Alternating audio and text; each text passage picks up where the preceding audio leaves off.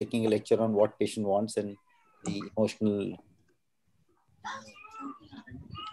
Well, it's going to be 11 o'clock in a, quite a few seconds. Yeah, yeah, yeah. Yeah, we can start now. Yeah, good morning, everyone. Wishing you all a happy Sunday. And uh, this is the fourth in the series of the Ortho Armory. And to introduce today's topic and the speakers, I hand over to our Chief Moderator, Dr. Rajendra Chandak from Nagpur. Good morning, everyone. My, uh, we have a excellent faculty today, and we are really fortunate to have uh, Dr. Dr. Tanna sir would be joining a bit later. We have Dr. Madan Kapre. He is an ENT surgeon from Nagpur. Dr. Jawahar Jethwa, Dr. Kumar Shantanu Anand, Dr. Gurava Reddy from Sunshine Hospital, Hyderabad. Our moderators are Dr. Manoj Pahukar, Dr. Harjot Singh, Dr. Rajiv Raj Chaudhary from Surat, and Dr. Ashish Fadnis from Mumbai. Hello, sir. Uh, we are thankful to Dr. Ashok Shyam and Dr. Neeraj Bijlani to allow us to conduct this Armory series where different topics uh, of day-to-day -day importance are taken up in the uh, series. Today we are discussing about achieving somewhat more efficiency in our OPD conduct. See, OPD is our uh, uh, time where we counsel our patient, we interact with patient, and we develop a deep bondage of patient-doctor relationship. And giving a lot of good inputs on this topic, we have an excellent faculty. And we will be having, how we have structured this webinar is, initially we'll be having seven lectures. After each lecture, there will be one or two questions so that the topic is well understood. And at the end of seven lectures, we have a panel discussion where common questions will be discussed at the end. So can I invite Dr. Kumar Shantanu Anand? Dr. Kumar Shantanu Anand is from Purnia, Bihar. He is a AO faculty and is secretary of Foot and Ankle Society. Sir, can you please share your uh, screen?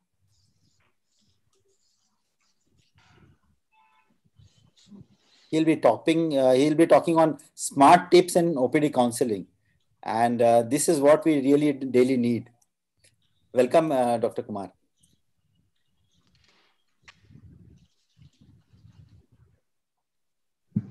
He is muted. We're not getting your voice, sir. Oh, I'm sorry. Can you hear me now? Yeah, yeah, we can hear you now. Well, yeah, welcome.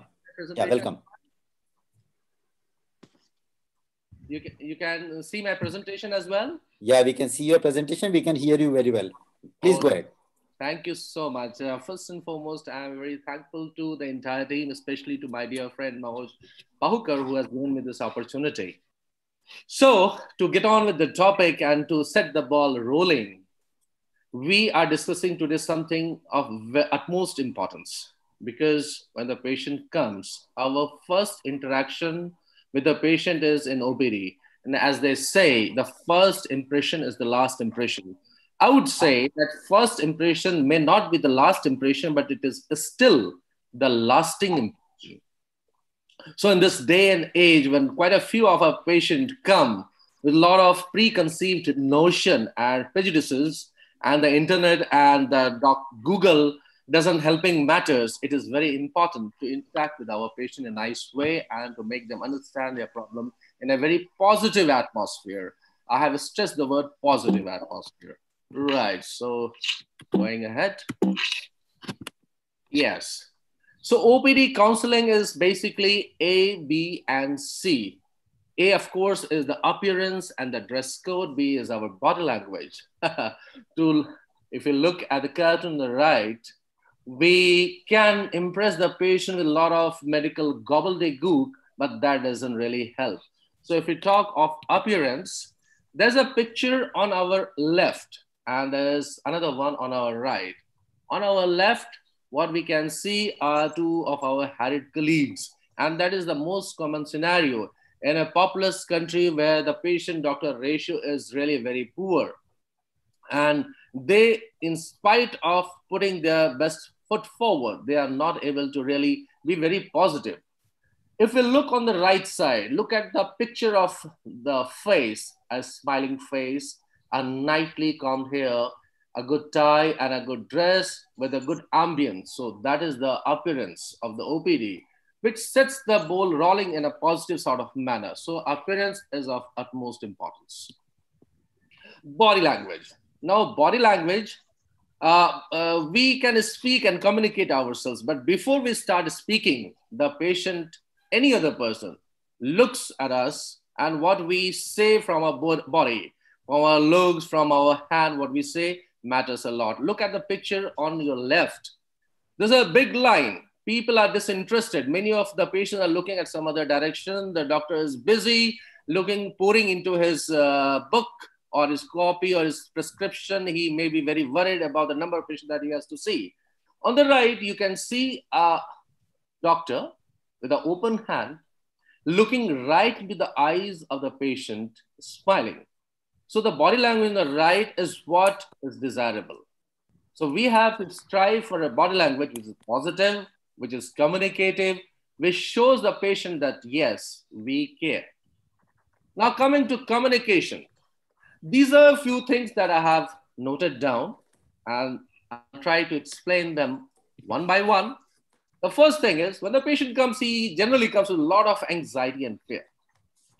We have to be positive we have to put things in right perspective and basically we have to allay the anxiety and fear that doesn't mean that we have to uh, paint a rosy picture but we have to put things in a right perspective because the glass can be half empty. It can also be called half full.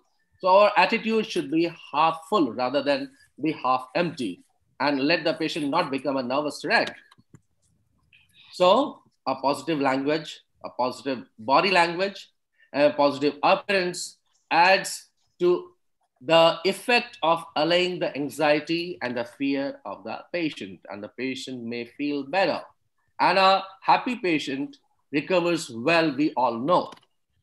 Yes, listening is as it is important to speak, similarly, it is important, probably even more important, to be a good listener. So, who is a good listener? Where the eyes are watching, you're all ears. You are giving the patient, you're turning towards the patient side, giving him your full attention. We are not endeavoring to say something, so our lips are closed, hand are still, so hand are not fidgeting. We are positive. We are all ears. So be a good listener. Keep our feet silent, no foot tapping, and anything of the sort, and be a good listener. And another thing, it is said that the most important sound to any person on earth is that of his name. So while interacting with a patient, it is good to be pleasant to the patient and call him or her by name. We have to put a little effort in looking up into the prescription and trying to remember a name. So whenever we speak to the person, we speak by name and thereby adding a personal touch. Yes, the other point that I feel is very important is be empathetic and not sympathetic. So what is the difference? Sympathetic is when you put yourself on a pedestal and say, okay, all right, all right, we can understand you are you are in a problem. But being empathetic is feeling his feeling his uh, fear, feeling his concern, and sharing his pain. So that is what the cartoon says that we have to be empathetic, not sympathetic. Yes. And yes, patient may come and they may ask all kind of silly questions. So no question is silly in the OPD consultation. The patient may ask and pour his heart out, and in the process may ask something very silly as well.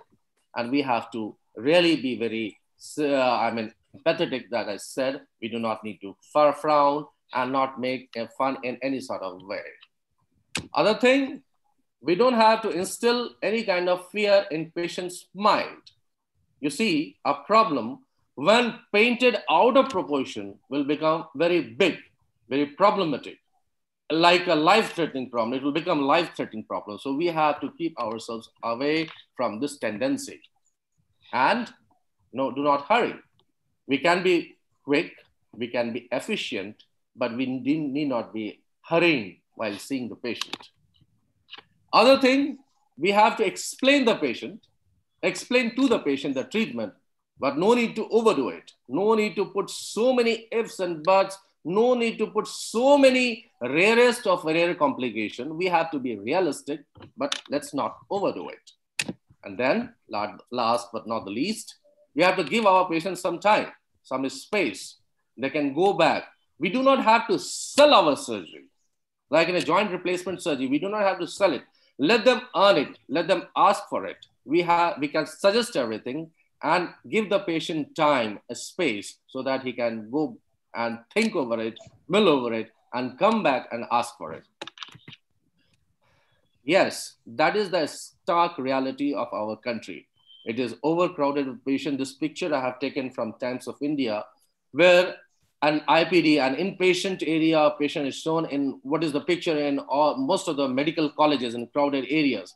But still, we need to have a heart and be good to our patient and give them a very positive uh, overall experience. Therefore, thank you so much. Have a great day, great week, month, and a wonderful 2021 ahead. Thank you so much. Thank you. Thank you, Shantanu. That was a wonderful lecture and with uh, pertinent tips of looking into the eyes of patient and having a counseling session. That was really uh, great. Manoj, do you have any questions for uh, uh Shantanu? Unmute yourself, Manoj. Manoj, you are, uh, it seems you are muted. Uh, Rajiv Raj, you wanted to say something? Yes. Yeah, fantastic presentation for initial. Well, I think probably looking into the eye. Hello. Looking into the eye yeah. Uh, can be a very cultural thing. Yes. You see, yeah. there were people who were arrested in the US after the 9 11 attack, uh, the, the Twin Tower attack. These were Arabs. And the case in the court was they did not look into the eyes of the of the investigators, so probably they were guilty. While the while these uh, Arabs said, in our culture, authority is authority. We can't look into the eyes of an authority.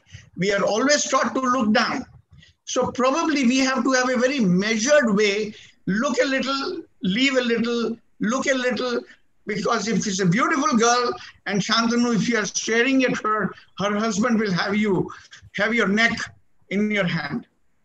So although I will probably not help staring, but there is a difference in staring and looking into the eyes. We can look gently with a crinkle in our eyes. So we, I never mean to be staring at my patient, but looking at eyes gently in a reassuring way. That's what I meant. Thank you, sir. Yeah.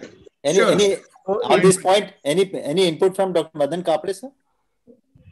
No, that's fine. I will have something to say when I talk in the next. Okay, okay, okay, okay, perfect. If there are two options that you can provide to a patient like if there is a humerus shaft fracture you can treat it conservatively you can operate it so how do you counsel them do you do give them options or do you tell your preference or do you decide for them yes that's a very good question as far as uh, shaft humerus fracture is concerned i'll definitely in most of my patients i give a picture of conservative therapy as well as a picture of operative therapy.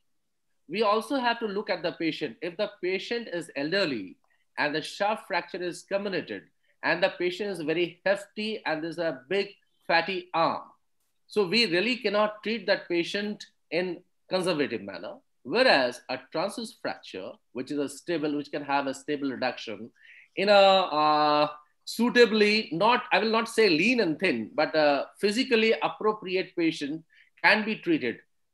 Other matters are like uh, availability of money and other things. So we have to say and give the patient a correct picture. So I always give the patient a correct picture, also suggesting.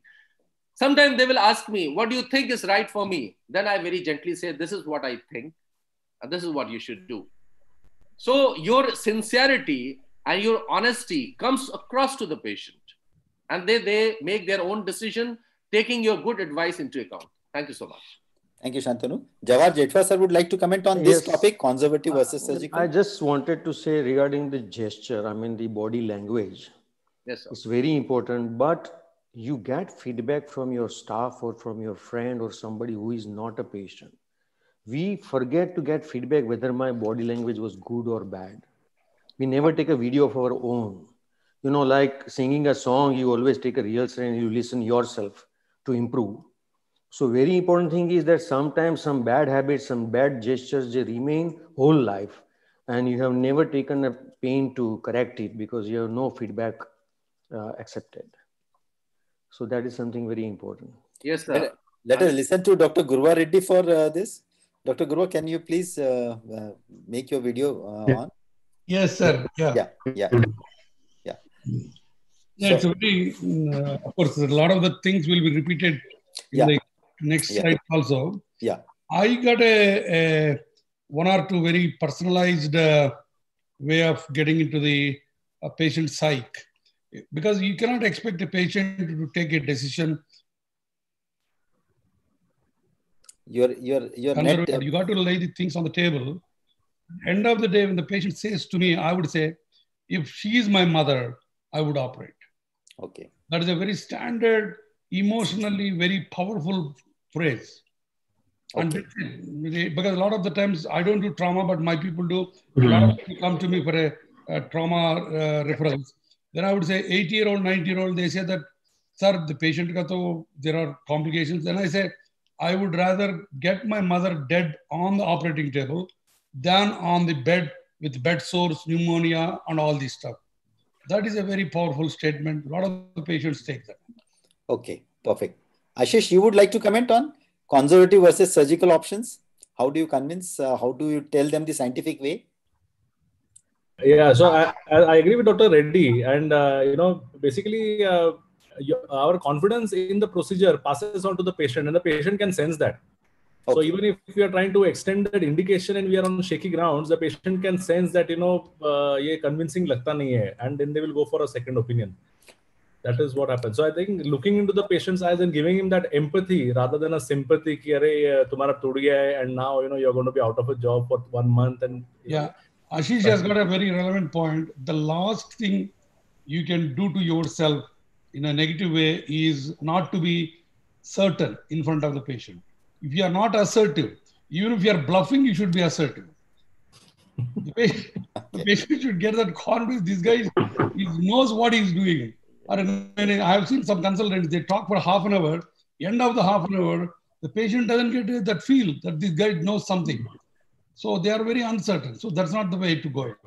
No, I fully agree. I fully agree. That's why I said that it, it need not be overdone. It has to be done to the right amount only. Yeah, okay, of course. Yeah, that is yes. the key. Yeah. Right amount, wrong amount, and optimization is entirely subjective, depending on your personality, patient's personality, the surrounding things. Let us say if the patient is a mother-in-law of a, a cardiologist friend of yours, your your approach will be entirely different. Yes. It's very, very dynamic, very dynamic. Yes. Yeah. Thank you. Thank you very much for those inputs. Now let us move on to the next lecture. Now I invite uh, Dr. Madan Kapre, who is Director of Neeti Clinics. By the time, sir, please share your screen. He is a Lifetime Achievement Awardee of FNHO and of the Otolaryngologist of India. He is National President, Foundation of Head and Neck Oncology, founder of the National President Thyroid Surgeons of India, and he has a long association, had a long association with Professor Marwah. That is how he is well connected to orthopedics and he knows a lot of orthopedic terminologies. So, sir, please, we will welcome you for your talk on emotional management of OPD patient and what actually patient wants. Can we fulfill those things? Thank you, sir. Welcome.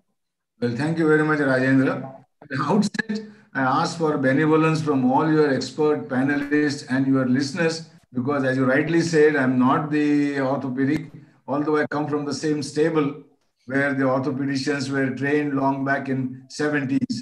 That is under the guidance of uh, Professor Dr. Vikram Marwah, and then we had a clinic together for nearly 15 years. So that is my claim to be friend of orthopedicians. Uh, at the same time, say whatever I'm saying probably would apply to most of the situations. Let's take the history of OPD. Where did the OPD began? Where the terminology came actually came back way back into 17th century, where patients were counseled in a hotel. I want you to mark that word. They were counseled in a hotel where the treatment was explained and argued. Now, the word hotel will come back a little bit later into my talks But mind you, it was not an hospital. The OPD were run into a hotel. Now, what is the OPD? Let's decide that. And it is a place where you actually don't give any therapy, but it is mostly you schedule yourself for some hours of the day to spend with your patient explaining and telling them, but there is no IPD and it's only about diagnosis and talking. What the word diagnosis and talking. Now let's see what the OPD is like in the West when you take the emotional aspect. That's how the OPD is like in the West. I'm not taking this picture from the from the Google or one of the affluent hospitals in America. Look at what they look in our country. It's not comparable. It's a college where I trained myself. Look at another district general hospital, not very far off from where I practice. It is again not comparable. And therefore, this is, of course, we all know PD Hinduja Mumbai. Look at their affluent OPD. And look at this mediocre or modest OPD of mine. So what I want to stress the point here that when we want to talk about OPD, the ambience across the board in our country and what the books say is not the same. So when I Googled up to see this talk, uh, frame this talk, I realized that nothing can come from the net. It has to come from your heart. And then say, look within. Now, what does the patient really want when he comes to the OPD? He wants clean, healthy food. He doesn't want the ambience of a, a big hotel in Dubai or he doesn't want even a roadside cafe where he's scared whether the food is good or bad. So what is our job is to create an ambience in the OPD which is just about right where he feels that he is getting nice, clean, healthy atmosphere. And emotional management, that's a tough ask. But if you ask it, it's the ability to really accept successfully and controls one's feeling. That's the definition of emotional management. It's a skill. And here we are going to cooperate with the patient, train him into accepting the situation and act positively. What the patient wants. There are some unspoken anxieties when he enters your clinic. Is it a disease which is going to kill me? Is it going to maim me for the rest of my life? Is it going to disfigure me, particularly in my field where I'm doing a lot of head and neck cancers? Will it create a social stigma on me? And financially, will I be set back financially or my work, will, uh, will I lose my job?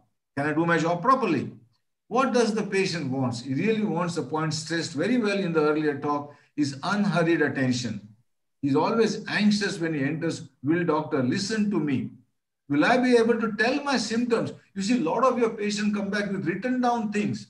And it is very silly to say, oh, give me that paper, I'll read it for you and just get on with it. No, the man has spent some time to write that down, to have a respect, to reciprocate your feeling and give him back the respect and answer him tick mark one by one and go along with him when he reads out what he has brought with him.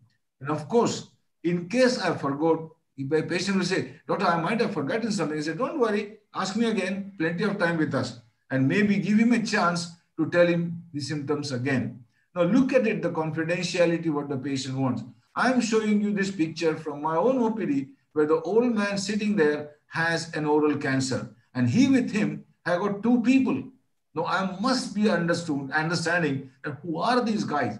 One is his son, the other one is his son-in-law. It's not the same thing. So he doesn't want all of the things which are to tell to be exposed to his son-in-law. Maybe he want them to be told to his son. So to quickly latch on to it, that what am I talking and what is the confidentiality? And in that confidentiality part, a lot of people don't want their diagnosis to be the, the diagnosis to be disclosed to the people they don't trust because there may be some implication. I told you one of my patients, and he's from Calcutta, he came to me saying that, Doctor, mere gale mein machi ka kata hai. I looked at the throat, no machi ka kata, obviously a big growth. But he wanted me to play along with this machi ka kata. And the reason was he had five son-in-laws who were pouncing on business. He didn't want them to know that he has got a cancer and maybe a very limited future. Some of the questions which patients do have on their mind can I tell him that I have a whiskey at night? Can I tell him all about my bad habits? Or can I tell him about my psychiatric problem? They are very worried, and this puts them very emotionally onto a back foot. Be open, be open minded. And I remember my rounds in England days that on the ward, patients were actually given their daily requirement of alcohol without the need to be shy about it. Because one of the big things that may happen post operatively that you take away their alcohol quota every night they have by saying, oh, no, no, no, my hospital doesn't allow any alcohol and you will have a problem on your hand. Then concern for the family. Be, I mean, this point very well said. It is not sympathy, it is empathy. You are not God Almighty above, oh my God, you got this very poor fellow you are. But you be very sympathetic and of course, do have the concern for their privacy. They may want to take some things, some advices and discuss, please talk to my mother. Common advice, don't tell my mother, she's very, very weak, she will not tolerate it. It's not true, but at the same time, do respect that and play along sometimes. Now, what does the patient wants? He wants to know the bills, he wants to talk about the policies, and the other thing which is happening more frequently now, and this is happening in the metros where a lot of uh, ITO people are working and say, will doctor take an undue advantage of my financial or social status? Rich man, poor man, God's man too. And my philosophy is be equal to all. Now coming to the COVID part of it, in the body language we talked about, we are creating modern times impediment. We look at the computer, we don't look at the patient. We are more interested in making a data into our stream. We also have a bell ringing all the time. And I've seen people, I've seen consultants who actually put, this is happening in the metros where the pressure is time, they put the clock and say every 10 minutes new patient. And it's a sand clock working, ticking there. And the patient comes so they turn the clock down, he said second consultation begins. Please do not do that. Avoid the temptation of saying, oh, my secretary or my fellow will explain this to you. They have come for you, not for your secretary or not for your fellow. And again, these COVID protocols, I'm deliberately showing this picture, they create a barrier between you. I mean, look at me sitting there wanting to see my patient with all my gear of COVID. Then there is a transparent screen and there is a shield and the patient is also similarly put distances your patient. So it is not distancing. Please don't distance. Follow social distancing, but don't distance your patient because he doesn't want it. And this is the last slide of mine where I'm sharing with you my OPD in the area where I am famous to be working with the thyroid. This is my Chikaldara Megard scheme. This man approaches me and he expects these things from me. He wants me to be honest, clarity of my decision, wants reassurance, and above all, he wants my trust. May I humbly suggest to this August audience, because a lot of things more to come, we must, in terms of what patient wants from me, if I deliver them emotionally, because that's my topic or my work, I would say sit at the level of the patient. A lot of people have a tendency to have a very high chair for themselves. And they have a huge chair. Body language, something covered in the earlier talk. And the patient has very mortally low-lying tables. So that creates you in a higher position than your patient. Please avoid that temptation. Have a chair which is exactly the same as that of your patient and have a good eye contact. Be focused. Don't talk to people. People have a habit of taking phone calls. Oh, I'm so busy. I got umpteen number of phone calls coming. Don't be in a rush to take. Put it on a mute or give it away. Put that phone call called mobile away from you so that you have focus. Use the language. You see, I have practiced in Nagpur and a lot of my patients are coming from Madhya Pradesh and they have a different accent and different language. If I can latch on to that accent and language, I create a, a direct contact with them ah ye meri baat sunta hai ye meri baat hai in my field of thyroid because the recurrent nerve is very close and we are worried about the policies and drawing helps me i don't know how it works for orthopedic also we have an urge don't intercept your patient because emotionally get traumatized if you insult him you respect his symptoms might be allowed and second and the last but not the least is don't tell him that you are very busy and you are pressed for time and your patient is the most precious thing at that point of time because he has come to you from a long distance, sparing a lot of his time also. So you must reciprocate your time. Again, I thank you for your valuable listening and maybe I'll take some questions on what I said. Again, thank you all very much one more time. Thank you all. Thank you very much, uh, Dr. Kapre, sir.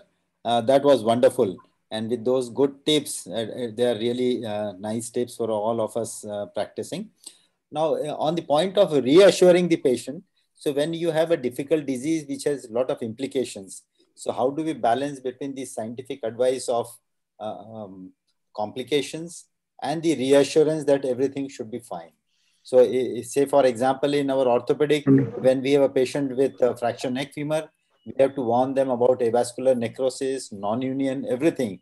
and and the patient wants reassurance that everything should be all right sab theek ho jayega so how do you balance uh, those things i will draw an analogy or i will try to paralyze that segment because i cannot be speaking on fracture neck femur yeah. and yeah. necrosis yeah. but i could talk about the oral cancers where my most of the work is and when the patient comes to me with oral cancers and i have given everything that what is going to be the future life for him and what are going to be the morbidity will be there and the patient then asks on a similar line like uh, Dr. Gaurav Reddy said earlier, uh, I would say on the first set, सामने से शेर आया है अब उसको शेर खान बोलिए शेर सिंह बोलिए शेर जी बोलिए माला पहनाइए आरती करिए वो तो आपको खाने वाला है अगर आपको बचना है तो उल्टा हमला बोल दो।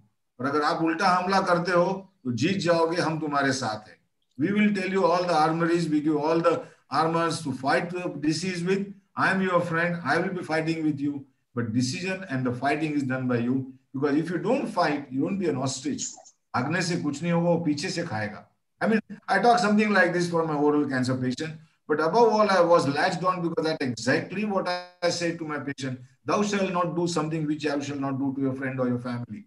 And that's what Dr. Reddy said a while ago. I will say, if it was my family, my brother, I will do this operation. That creates a lot of impact. Yeah. I'm fully yeah. sold on that point. Yeah. Thank you so much. Manoj, you wanted to ask something? Manoj, internet uh, appears to be a bit uh, hung up. Uh, yes, Shantanu, you wanted to say? Yeah. Yes, yes. Uh, so, so that beautiful question that you have asked. And I'll put the example of uh, spine fracture as well as fracture neck-of-femur. Right, right, absolutely. Yes. So a patient who is paraplegic because of trauma, traumatic paraplegia, जब उसकी surgery होनी होती है the the patient will invariably ask, and it is quite right. The patient is bound to ask me sir patient ठीक हो जाएगा ना will the patient B okay I very humbly से brother i cannot give you this guarantee and so cannot any of the surgeon on the face of this world but there is one guarantee that if you do not do the surgery do not do the required surgery there's a 100% guarantee that the patient will not be well. He will not become well. But on the other hand, if you do the surgery, there's a chance that he will become well. He may not become 100% well, but there is a chance. So unless you give yourself a chance, you'll not be okay.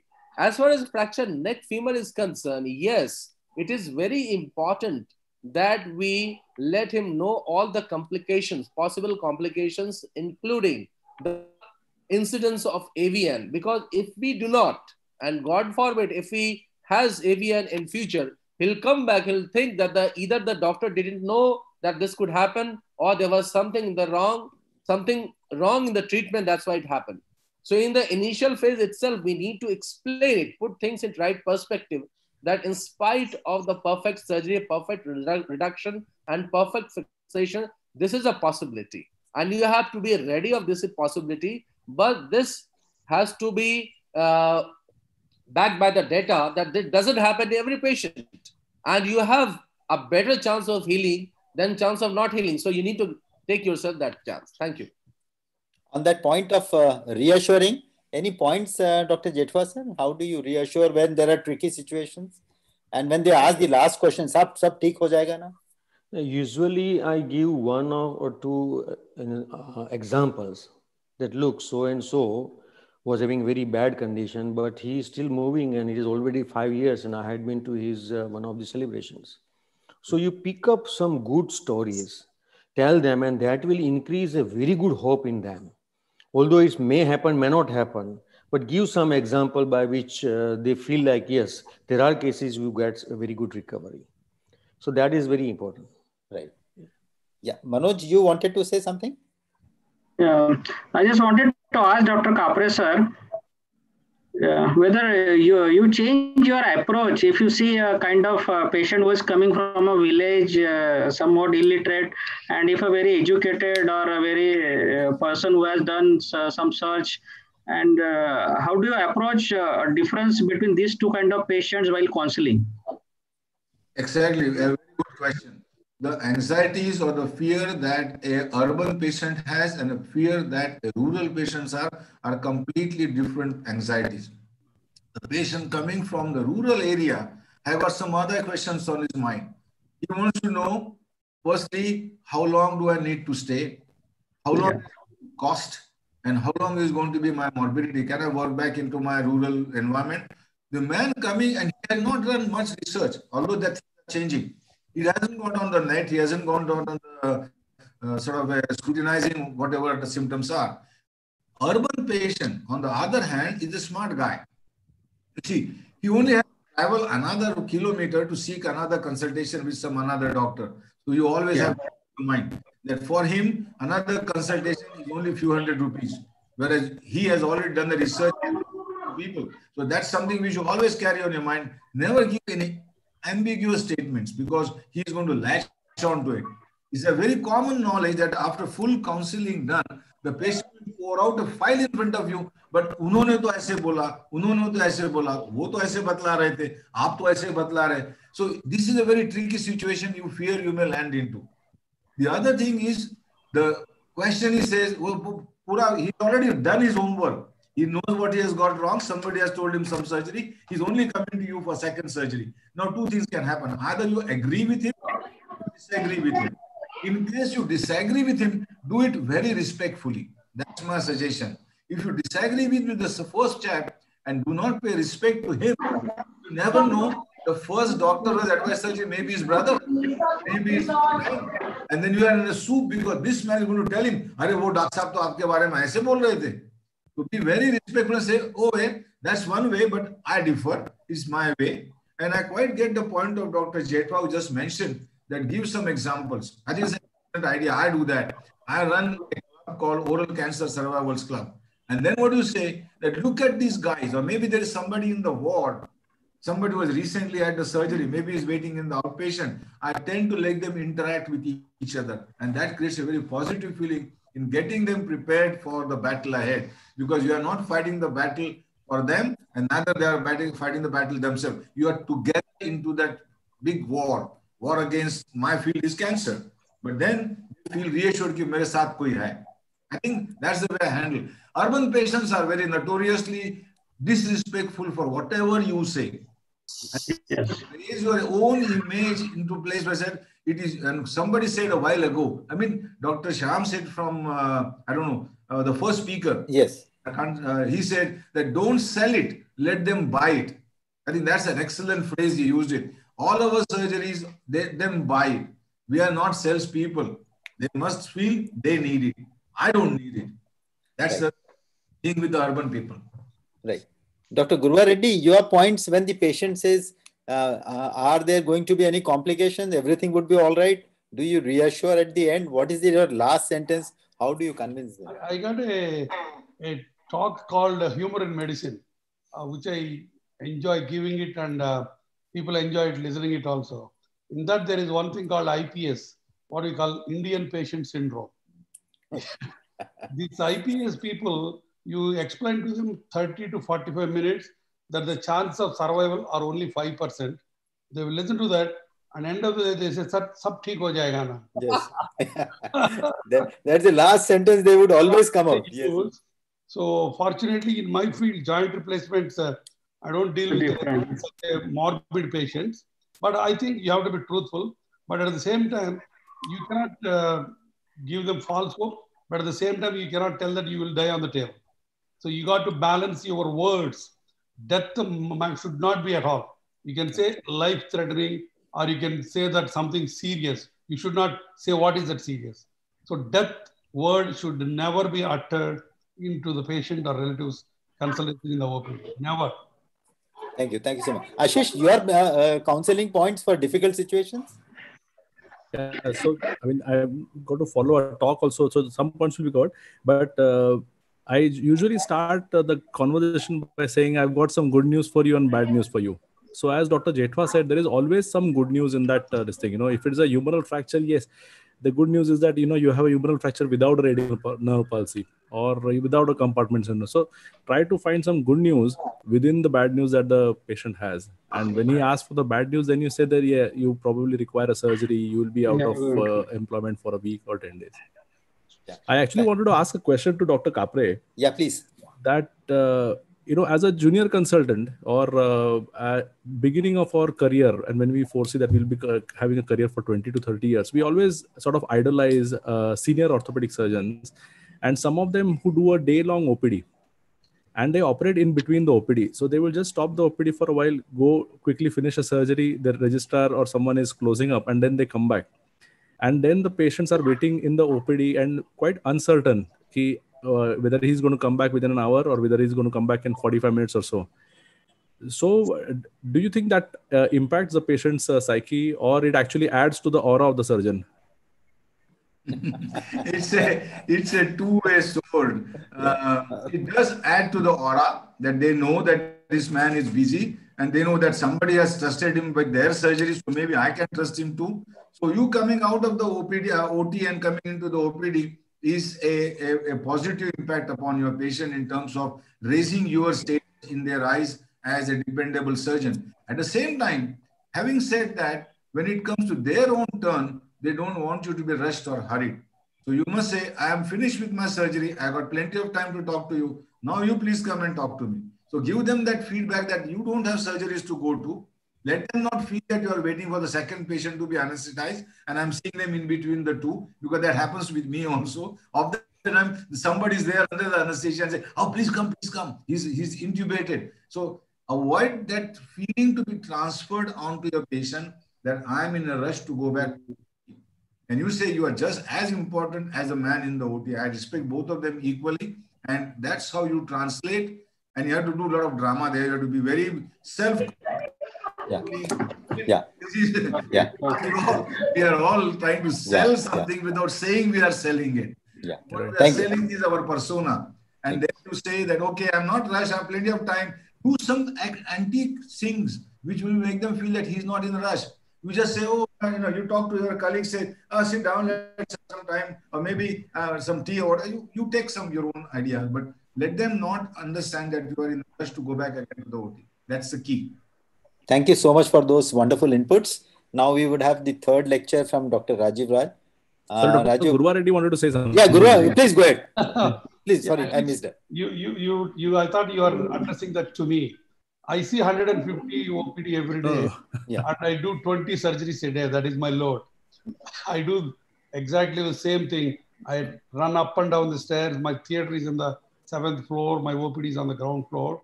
I do a lot of uh, balancing act. But as I said, you got to have uh, so much of support services to do that sort of act. Right. you have to have at least good registrars. Again, another thing, Ashish, if you see, if you boil down to that one, the spending decision making time with the patient is only five minutes. Yes. And rest of the time is cosmetic. That can be done by your registrars, nurses, counselors. So if you got that team very powerful, so the total patient will have one hour time with all the team, but you'll have only five minutes of your time. But you got to optimize that. Then you are a winner. Because once you go up in the practice, there is no way in India you can say that I won't see OPD on Monday. I will see OPD mm-hmm. only on twice. No, it won't happen. And I want you to reach that stage where you will see OPD six days a week, still running out of time. yeah. So, so your mantra is uh, develop the support systems. Absolutely, sir. Yeah, yeah. Thank you. Thank you so much. Yeah. So uh, now I, I would like to invite Dr. Rajiv Raj for his lecture on role of counselors. We are all pressed for time. Rajiv, can you please share your screen by that time? Sure. So, yeah. So we are all pressed for time every time, every day, day in and day out in orthopedics and in other medical fields. But how to save our own time by using our own counselors let us see wonderful tips from Dr. Rajiv Roy. I, I learned few of his tips during personal conversation and let us have him uh, for his lecture on counselors, the role. Thank you so much. So I wish I could be attending so many things simultaneously, but unfortunately, I'm one person. I can't attend everything at the same time and cater to huge volumes as uh, uh, Dr. Gurava Reddy said. You are the cause, you are the effect, you are the hero, you are the champion, you are the boss, you are the best, you are the greatest, and nobody can be you. So take it from me, you are the best counselor, there's no doubt, but you are the bottleneck. and one should not be the bottleneck. Because your time has to be given to as many people as possible with the patient's satisfaction. And this talk is dedicated towards bringing this on. So a timeline, as uh, Dr. Gurava Reddy has already said, say about 15 minutes on the lower side and 30 minutes for a surgical patient would be the time that would be required for every patient. So if you are a stand-alone doctor and you have 20 patients, it would take five hours approximately. But in addition, but in case you have a counselor with you, you can do that exactly in half, half the time, giving greater patient satisfaction, covering more patients in the same time, and higher OPD to surgery conversion. And that is what we are looking for. So who is a counselor? From my side, I'm not looking at definitions given on the net or the dictionary. It's a person who knows the complete picture of the disease and can convert scientific knowledge into simple layman's knowledge and connect with the patient.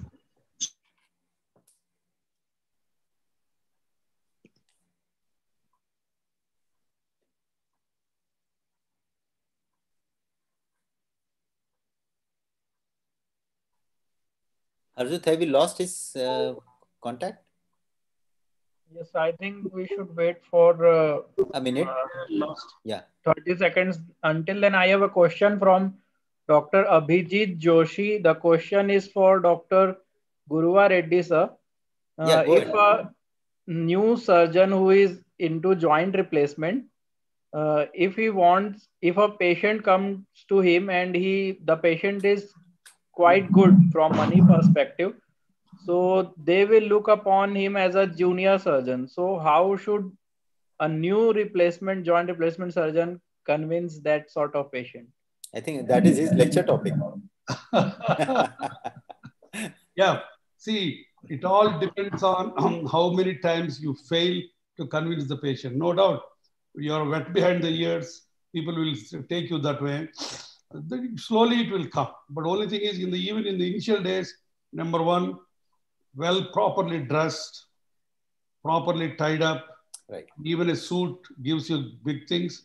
And talk assertive. Talk as though you're the God's gift to arthroplasty. Don't be overconfident, but talk in assertive terms and put that extra empathy into that. Yeah. Rajiv, Rajiv, we are you are back. We understand that since we had lost contact, you are muted. Unmute yourself. Rajiv, please unmute yourself. We just took up one question. By the time you could log in again. Please share your screen again. Yeah. So we were just discussing a question of uh, patient's confidence, etc. So you can go ahead with your second, third slide. Yeah, please go ahead. We are again back to the lecture. So what are the skills that a counselor should have? Of course, most of them have already been alluded to, so I would not repeat. But I would say problem solving and an attitude to help the patient.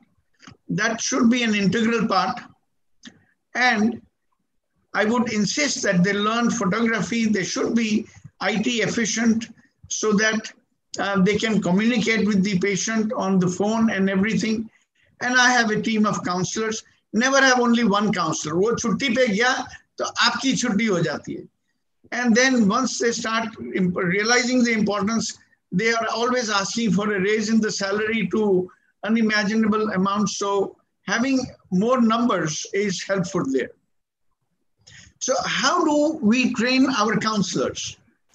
First of all, they have to know everything about the hospital. Where is the laboratory? What is, where is the ward? What sort of wards? What are two rooms, one rooms? They should, they are taken to the operation theater. They see a few procedures so they can appreciate what's happening. They have to have a complete understanding of uh, most of the things. Now, in my place, the CT scan and uh, the patient has to go out of the building to for the CT and MR centers or for the physiotherapy. So they are physically taken to each center so that when they are explaining to the patient where to go for a CT or a MR um, um, examination, they can explain it better. They have to be trained to be accessible for patients' queries over calls and even on WhatsApp. They should be trained to, I use them to train, uh, I train them to maintain patient records, clinical pictures. So they help me to form folders where all the record keeping goes and it is done by the counselor himself. They should be well versed with the philosophy of the surgeon. This is very important because the, the basic philosophy, um, if it is in, in line with what the surgeon has taught the counselor, it makes a very big difference in converting. So everyone is on the same page when they're talking to the to the uh, to the patient, and they should be, of course, they should visit the patient post-operatively as well. So that adds to their confidence when they come next time. Now, I tell my counselors, do not let me talk. You do most of the talking. So in that phase, they take over the conversation and I will show you a video how this is done. Ensure all patient questions have been answered. The, the counselors are told that they should be happy with all the face time they have. Think from the patient's point of view, use the same language, and the patient's perception of the treatment should be absolutely five star. So basically, um, they are asked to establish a relationship because when you are a counselor, many of these points are not required. But when there is a second person who is doing the counseling, in that situation, we go through a lot of points and um, all the questions that have been um, that are raised by the patient should be answered. And communication is the key. So that again is taught. As dr shantanu say look in the eye um, be very very polite and talk about everything. So what is the diagnosis so this is all what the counselor does rather than me doing that would save me a lot of time. As Dr. Gurava Reddy said, if you have a very robust backup of counselors, registrars, senior registrars who are looking after, the problem is the quality of the registrar and senior registrar keeps on changing. Maybe Gurava Reddy is in a, in a hospital and has a center where he attracts the best of the best but there are a lot, lot of questions that the patient has. Um, when will I, will I sit? When can I travel? When I can go back to work? So before the patient asks these questions, the counselor should address as um, from as a um, from before itself and before the patient asks, the counselor should have answered all these queries that he anticipates from the patient. So everything under the sun should be talked by the counselor. And then we have a helper workflow to manage the time. Now this is a topic, this uh, one or two slides are away from the basic topic I've been given, but it's basically time management in the OPD. So the helper or the counselor, whoever it is, he first opens the door, welcomes the patient, settles the patient onto the uh, examining table, uh, opens the patient's record on the computer. He sequences the patient's report and places x-ray scans on the view box and stands ready next to the patient couch for clinical examination and evaluation from the surgeon side. So at this point, I come in. Now, after I go, then the, the, the, patient is helped off the couch onto it onto a chair. He listens, he has listened to all the doctor's instructions, keeps the wheelchair ready to shift out, keeps the reception informed about the next patient to be queued, and escorts the patient to the out to the post consultation and assists the patient in the follow-up appointment as well. So counselor is not restricted कि अच्छा बाहर जाना वो अपनी appointment next ले लेना. The counselor goes. So the patient feels very comfortable. He's not finding for a place. This should be as smooth as an orchestra. The OPD should run very smoothly. There should not be haphazard things happening here and there. As has already been alluded to, the counselor takes the telephones of the consultant. and answers to the because 80 85% of the of the uh, questions on a telephone to the consultant are things that even the counselor can answer or he can ask a long question with the which is a word one word answer for the consultant and then the counselor talks on the telephone for another two minutes three minutes whatever the time is required we usually run a number of cabins and dressing areas. So we have a light system. So you can see inside the OPD chamber, there is there are four lights can be seen. Outside the chamber, again, four lights can be seen. And those lights are connected to the reception desk. And each light, it, it, it is an indication for some things. Say, for example, a patient is waiting for the consultant, or a stretcher is required, or a wheelchair is required, or there is a problem and send in water because someone is crying and you want water sent in. So everything is coded. Nothing is, the patient doesn't come to know how things are happening, but the wheelchair comes in automatically when the light is on and the light is switched on by the counsel the moment he say, sees that the examination is over. So that waiting for the stretcher, waiting for the um, for anything to happen um, that time is saved. So the main keyword, if I have to say, is anticipate. Now we have a very um, uh, comfortable waiting room on one side, but you see the picture on your right hand side.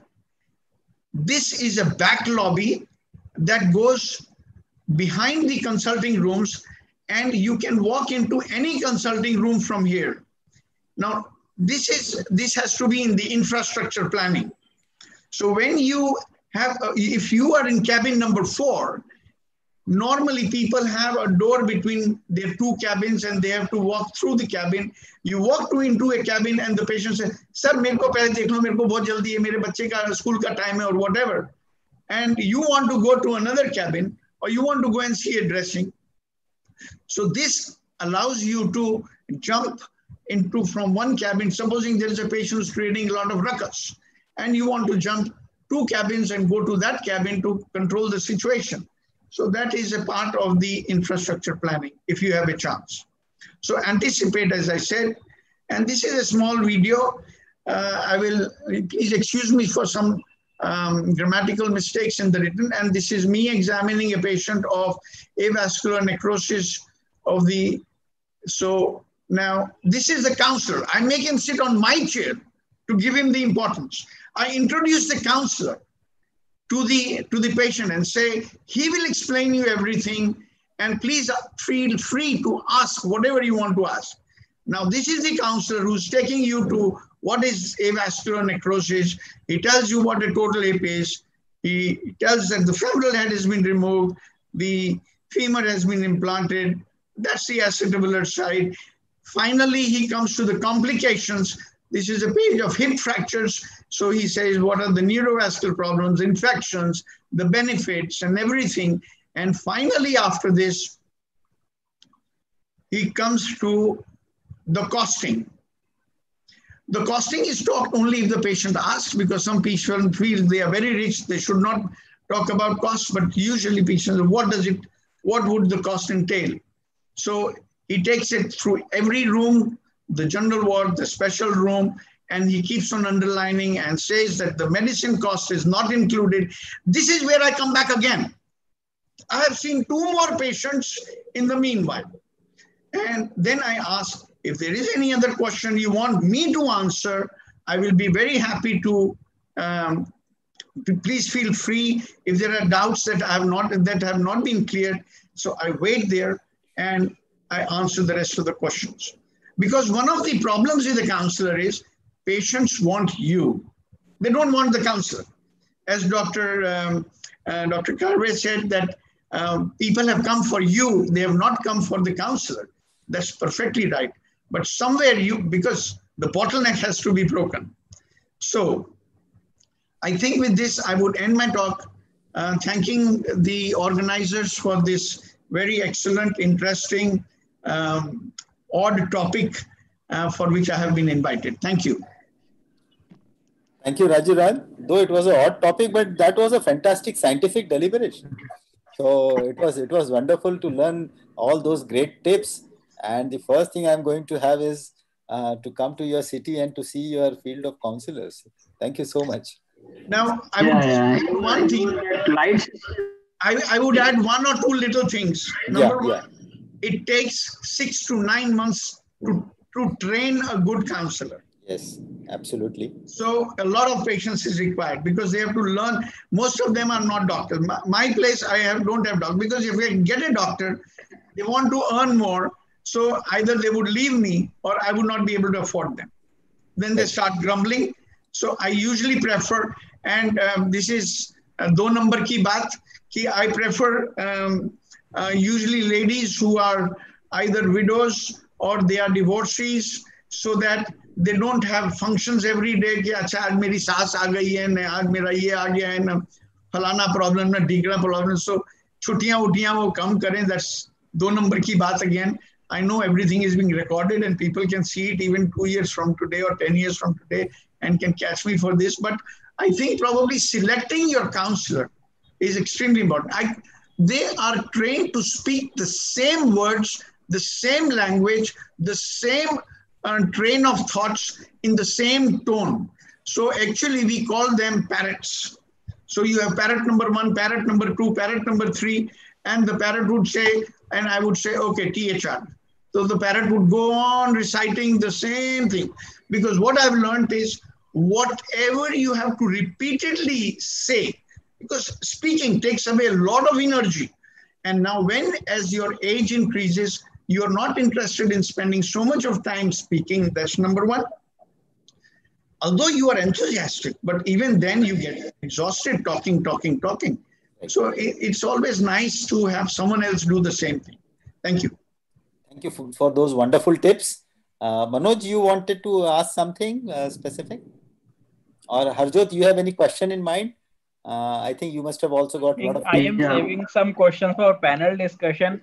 Okay. I am mesmerized by these three talks and I am finding it much more beneficial than I imagined. Yeah, yes, Dr. Manoj. Any any questions? Yeah, sir, you started like we need to.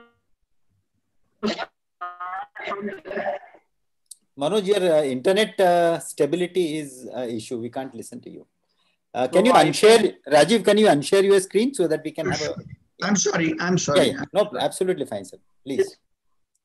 So now I would like to invite uh, Dr. Ashish Fadnis sir to share his screen and share the pulse of wisdom.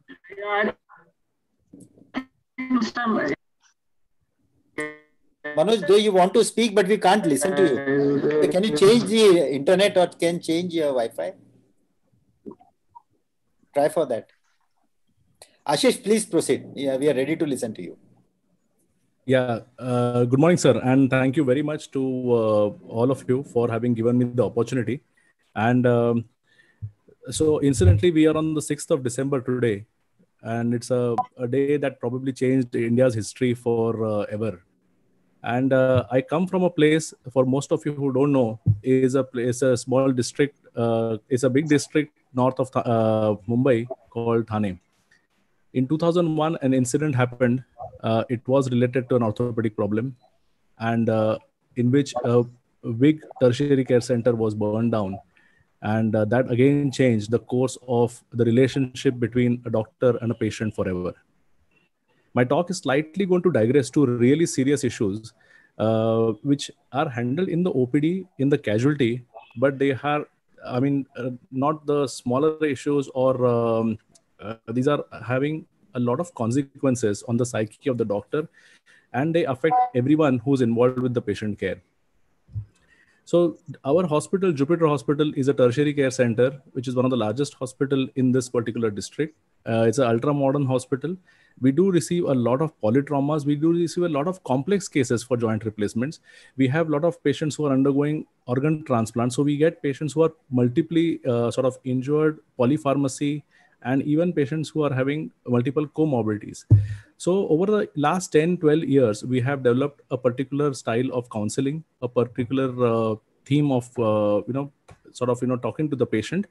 and uh, everyone as sir said you know talks the same song or uh, we call it sing the same song and i'll take you through our experience and what it has been uh, there is this book called the Patients will see you now this is by eric topol who's a cardiologist and in this book it's a very uh, sort of very slow and a boring book to a certain extent but it is quite a scary book for all of us because it tells us what where we are heading now the times that the doctor will see you now has changed to the patient will see you now. So the patient wants to see you at his convenience. The patient wants you to answer the questions that he has. The more so in case of the urban patient, as Dr. Kapre was mentioning, there's a difference between the urban and the rural patient. The urban patient or the sort of the metropolitan city patient will have will be informed with certain set of uh, information. They are educated by google but what is going to happen next in our generation is google is even going to tell you whether that information is pertinent to them or it's not pertinent to them. So they will not come with bizarre questions and you know that they have they being scared on the internet but they will be quite wisely educated. Now let's turn our attention to certain medical legal facts this is based on the orthopedic journals the bone and joint journal the orthopedic trauma and what has been published in the journal of injury and critical care that orthopedics is one of the commonest specialty or stream where medical legal cases are being filed world over. Though our mortality is low and these problems are common in trauma, they're also common in arthroplasty. However, in arthroplasty and spine, the payouts are much more higher. And the most commonest reasons for why doctors are end up ending up paying or they are found at fault is either it is because of a failure to diagnose a particular therapy or to failure to initiate treatment. Add to that the hardware failures, non-unions, neurovascular cases. These damage are quite high amongst the medical legal cases across the board. So this is the hospital. So I'll present two case scenarios. I mean, imagine yourself to be in the casualty or as an on-call orthopedic surgeon, and you're faced with these two particular cases, uh, patients. To sort of, you know, drive home the point, I've chosen two of our relatively sick patients who presented in the last couple of years. So there's a 23-year-old male, industrial accident, a heavy steel roller has fallen on his right shoulder. He's got a scapulothoracic dissociation. There is a subclavian artery laceration. He comes with a cold extremity there is extremely bad chest injury, lung parenchymal injury. In short, the patient is in extremis. This is the patient's X-ray. Uh, you can see that this, from the word go, is a ba is bad news. The issues here were revascularization, ischemia time, hemodynamic instability, and the big problem here is there were no relatives. There were no relatives. He was brought by a contractor and a friend, and the patient has no money the family also does not understand the gravity of the situation but here they are the ones who will cooperate with whatever treatment you have suggested. He's a labor uh, laborer by occupation. All he and his friends say that you know just uh, do whatever best you can and we are agreeing to whatever treatment. The problem in a corporate setup or in a private setup is that the patients does not have any money and there is no assurance that any money is going to follow the other case scenario is a very well off a patient. He's 55. He's drunk at the wheel. He's asleep at the wheel, and he has a head-on collision with another car. He comes with a head injury, bilateral shaft femur, bilateral tibial plateaus, uh, surgical neck humerus fractures, and he's accompanied by too many relatives and too many friends. The family is very aggressive. They are in denial. They do not consent for any intervention, including a serum alcohol estimation, because it will negate the insurance claim, and it, a patient will have to bear all the expenses. Patient's images of a diffuse axonal injury, the bilateral femoral fractures, tibial plateaus, and this. You do the primary survey and you arrive at a conclusion as what is to be done. Now the problem comes of consenting the patient that you know both the cases, something orthopedic or some intervention needs to be done. The essential uh, ingredients for a consent is that we have to have some competent patient. We have to disclose all the information and we also discussed previously whether you'll disclose all the information or you'll partly disclose the information. So whether you're going to have a true consent or an informed consent. That is a topic for some other webinar itself. It's quite a detailed topic. And the last thing is voluntariness of the patient who's giving the consent. Now, the challenges of obtaining a consent in an orthopedic scenario, in orthopedic patient is basically our patients generally who present with a trauma, they are meeting you for the first time they may be conscious they may be in a state of shock they may be very irritated because they must have suffered an accident not because of their mistake. The admission is completely unexpected it is completely unplanned and so two of the three ingredients the competence and involuntariness they are lost. So you're already begin with beginning with a disadvantage The bigger problem is the patient recall about the consent process. So when you're consenting something during an acute illness, whatever you tell the patient, the patient may say that I have no recollection that you ever told me all these complications. Or you, I have no recollection of that, you know, this was all told to me or an option was given to me. So there is difficulty of retaining the information. There is a difficulty of processing the information. And there is also difficulty of imagining what is going to happen, me, happen to me in the next few days. So all in all, these are all ingredients for a bad outcome and an unfavorable outcome. And these are uh, incidences when there is a lot of problems happening between the doctor and the patient as a relationship as a whole. So what we designed was something like a multidisciplinary team meeting. In a multi, we have borrowed this idea from an oncology or a tumor board. I mean, the uh, any of you who is associated with the oncological setup, they have something called as a tumor board, where a radiation oncologist, medical oncologist, surgical oncologist, and the patient's relative and the patient, they sit in the meeting together to formulate a treatment plan for the patient. So what is this MDM? So this is a basically we all sit together. The all the health care providers who are involved in treating the patient, they present the critical information in an effective way. So we call all the patients, uh, patient's family, the patient's friends who are sort of you know going to help him take a decision, uh, educate them about what is happening with the patient.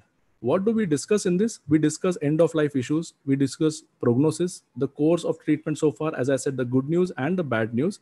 If there is hope for improvement, if all the possible complications which are there, uh, if the patients ask for percentage kitna guarantee hai all those uh, you know dialogues which need to be given to the patient that there is no guarantee of any particular thing but the only guarantee is that we will do our 100% for the betterment of your patient the expenses and the icu stay if required so to extrapolate this to a joint replacement or to a complex elective surgery or elective spine surgery like a scoliosis the same thing is being done but this is done in a much more uh, a slightly uh, relaxed manner because the rapport has been developed between the patient's family. They have technically agreed to go ahead with the surgery.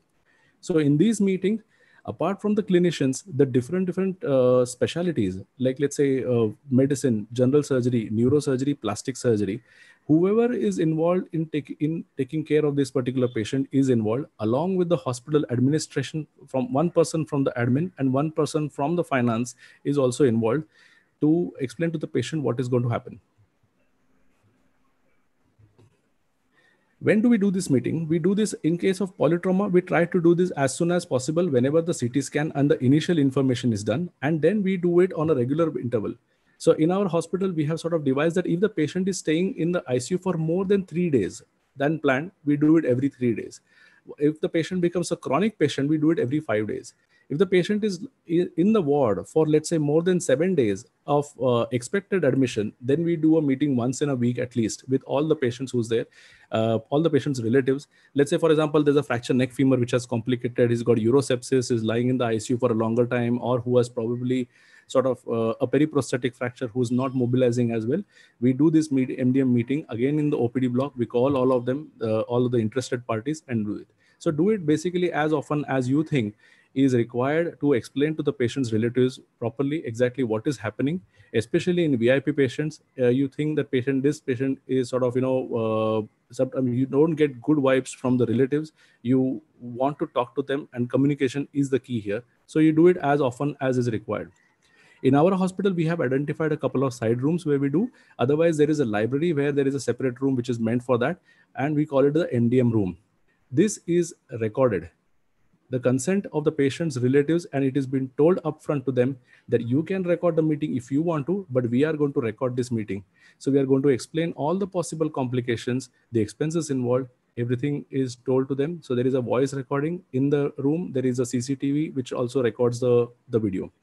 So uh, make sure you consent the patient's relative that this is going to be recorded very rarely have we come across a situation where the patient's relatives say that they don't want a recording. Then we explain to them very nicely that it is better for both the parties that this is recorded. It is not for the purpose of, you know, sort of pointing fingers that, oh, we told you all these things and then you still did not comply. No, it is not for that. It is basically just for the sake of our quality control. Our administration wants to see whether there is a shortfall in our standard of care or the treatment that we are giving the patient. So it is in their benefit and our benefit as well at the end of the recording, it, it basically takes about 45 minutes or so very easily in a sort of a polytrauma situation or in a very highly charged atmosphere. But what we have found is that most of these meetings end on a very cordial note. This is the sort of a paper or a communication record. Now, I mean, if people are seeing this on a smaller screen, you might not be able to uh, understand what is written, but I'll just read out to you. This is the first, second patient, and we have enumerated the diagnosis, the problems that the patient had, the issues that we have discussed, the prognosis of the patient, and the possible complications. There is the name of the patient's attendant, whoever attended, and the, the names of the patient, of the doctors who were involved, along with the administration staff, the nursing staff, and the billing person who was there during the counseling. So eventually, I will just like to close the cases. We proceeded with the damage control orthopedics. Eventually, shifted the patient to the ICU. As expected, the patient developed ARDS. He had a lot of uh, uh, issues with his chest, but he settled, sailed through all that. We did the internal fixation later on. Coming to the first case with the guy with the crush injury, unfortunately, he did not land up with a very good outcome. He developed chest related problems. He fought very hard. And here you can see that again, the number of doctors who are involved is the nephrologist, the chest specialist, the, uh, the general surgeon, the insurance coordinator, uh, the marketing personnel, the person from the admin ICU. At this, at the same time, these MDM, this is the room where the MDM meetings are being conducted but in the photo, you can see Dr. Uh, Chandak when he had paid a visit to our hospital. And as I said, we have a very big department. So we keep on discussing these cases. We take independent opinions from our colleagues. We tell the patient, you want a second opinion? We have a second opinion if you want to take it from someone from our team or some of the senior colleagues who are there in the department. If they don't want a second opinion from those, they are free to take the papers elsewhere and take a sec second opinion and come back to us whenever they have made up their mind. So the important thing is to have friends and colleagues I am blessed in our department to have colleagues who have unfortunately been around at the time when this incident happened in 2001 so a very rich experience comes from them. They have sort of you know seen the things unfold with their own eyes and therefore they they were able to sort of you know agree and formulate to uh, these particular problems. And uh, these are some of the, these are all of the colleagues who were there and this is our department. I would thank you very much and i'm quite happy to take any questions regarding this matter Thank you very much, sir. This is a very enlightening talk, and this is actually the need of hour due to the gap in the patient doctor relationship and trust. There were already two or three questions related to this topic before you even began, and you have covered most of them.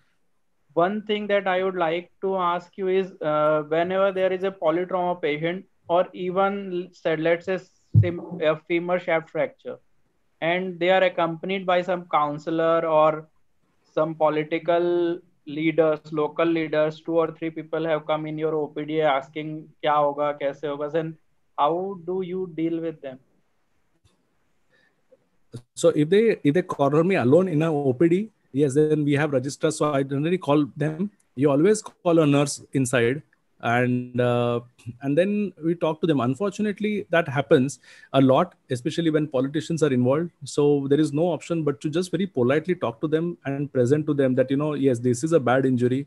This is going to have a lot of problems. He's going to require all of your support. He's going to require everyone's prayers and those uh, standard you know sort of uh, empathetic uh, counseling that you would do in these particular patients. Uh, fortunately uh, I, it's a corporate hospital so i am not then uh, we do face face the questions of sir kuch discount hoga kya patient is completely unaffording and all. So i have the luxury of referring them to our billing person. I said that i'll put in a word to them we'll offer the maximum discount. But you know that in these situations generally uh, the hospital's hands are also tied. We always mention that none of the emergency treatments will be withheld from the patient for want of money whatever needs to be done will be done. For example you need to repair the artery to control the bleeding. You need to revascularize the limb. So fortunately our hospital is very supportive in that manner that we are able to take that uh, call without uh, getting the billing involved. We get a clearance from them. But yes later on the patient has to clear uh, the issues. Once in a while you will come across uh, not more than once in a while you will come come across a patient who would sort of not pay or uh, but generally the patients are patients themselves they are quite grateful it is the relatives who are a source of worry thank you very much uh, let us welcome dr tanna sir he has joined uh, uh, the deliberation tanna sir we had uh, four lectures so far and dr ashish fadnis was giving a lecture on uh, collective counseling and collective meetings to emphasize on the difficult situations. I have a question for Dr. Ashish. Yeah. Um, how do you declare death? Uh, is there any good way or any protocol or any sort of a method by which you declare death? So um, the two things one is uh, if the death is in the casualty or generally is in the icu so even in the casualty unless it is brought dead we shift the patient to the icu where uh, uh, we you know call the patient's relative. So let's say the patient was with us for a long time and then he has deteriorated. Then then you have sort of developed a rapport with the patient's family over a period of time. Every day you are spending time with the relatives saying that you know you're trying to do whatever is possible but unfortunately it is not working or is not responding. You're taken the second opinions the third opinions. You're given him all sort of supportive treatment but nothing is working. So in that case it becomes a bit uh, uh, sort of you know not i wouldn't say easy but then you have your support system that you know we have the icu consultant with us who are used to uh, declare the death or uh, the icu registrars. Most of the times in the ground our icu registrars are post uh, uh, mbbs for sure but a lot of them are also post md so let's say things happen at 2 o'clock in the night in a patient who is with us for about seven days they do declare the patient dead and uh, uh, sort of inform us. But if it happens in the day then we are around to declare any other question harjot no, sir. I think we should move ahead and leave some questions for the panel discussion. Yeah, please. So now I would like to invite Dr. Jawahar Jethwa sir with, with yet another very interesting topic. Uh, like earlier said in the meeting, selling yourself without actually selling. So how to signify yourself in your own OPD. So welcome Dr. Jawahar Jethwa sir. Thank you very much, Dr. Chandak and the whole team. So my topic is OPD signifying self in improving practice. So people know who is the best, which is the best brand. They know which is the best facility. And how come your name is not there? So what actually are the barriers in self-promotion? Do you want to be really modest or not to call about yourself for any you know big achievement? So let us think of that what could be the barriers and how we can overcome them. So when you want to signify yourself what do you want to signify? Your knowledge expertise modesty concerns for the care administration ethical approach humanity absence of negative qualities or your rational earning. All of these you want to signify, all of these you want to directly or indirectly want to convey to the patient that how much I have a knowledge, how much is my expertise and everything. So you are supposed to promote yourself because this is something which you want to discuss in such a webinar. It is not in the curriculum. It is not, you are not been trained for that. And if you are really good it's a waste of your skill and knowledge because you are not promoted. And ultimately, those patients who need your expertise and knowledge, they are lack of it. So it's a less selling for the patient. So one must promote what they have the best. So you can promote what? You can promote only what you have, including God has to say to the saint that please visit my website for the facilities in the heaven. So you cannot promote something which you do not have. So that is very important to understand what do you have to promote. So uh, let us see that there are multiple factors by which you can have a very satisfactory or a roaring practice or some sort of whatever you want, you are happy with the practice. So there are multiple points on which anybody can be successful. So let us see, like you have a best of the qualifications or a skill or experience, or you have a legacy, you have a heritage, you have a brand, you have a goodwill. So you have that point. Not that all the points are with everybody, but few of them will make you successful. You have a good humanity, ethics, honesty. You have an art of convincing, communication. So that only it will work. You may not have a good qualification, you may not have a good legacy, but the art of convincing may work it up your location you are having prime locations where maximum patients they they are through. So you'll be able to go through, or you have a group. You have a facility which is so fantastic compared to other hospitals, or you have a best technology with updated all everything. So go on promoting that, or you are a master of the equipment. You know that particular uh, arthroscope or whatever the new gadgets or the you know computer uh, guided any navigation or whatever. So you have to promote that. Very important thing is sometimes surgeon is simply popular because he's every time available. He's so punctual. He's always attends. So pick up that what you have. You have to have a good receptivity or PROship. If that is good, that also you have to go on promoting that so and so will take care of it. And if you are in a team where there is a polytrauma, you can go on talking about it because we have a team. Something better can be done, or you can be uh, given a good credit. And lastly, very important, you have to create an uh, image that you have a love for mankind. You are a charity. People often say that ultimately, let us ask him before we go for surgery to any other surgeon. If he says surgery is to be done, we will go for it. You, he may not come to you, but you are having a, such a lo good love for mankind and charity. So any of this, two or three or five or six factors is going to give you a successful uh, practice.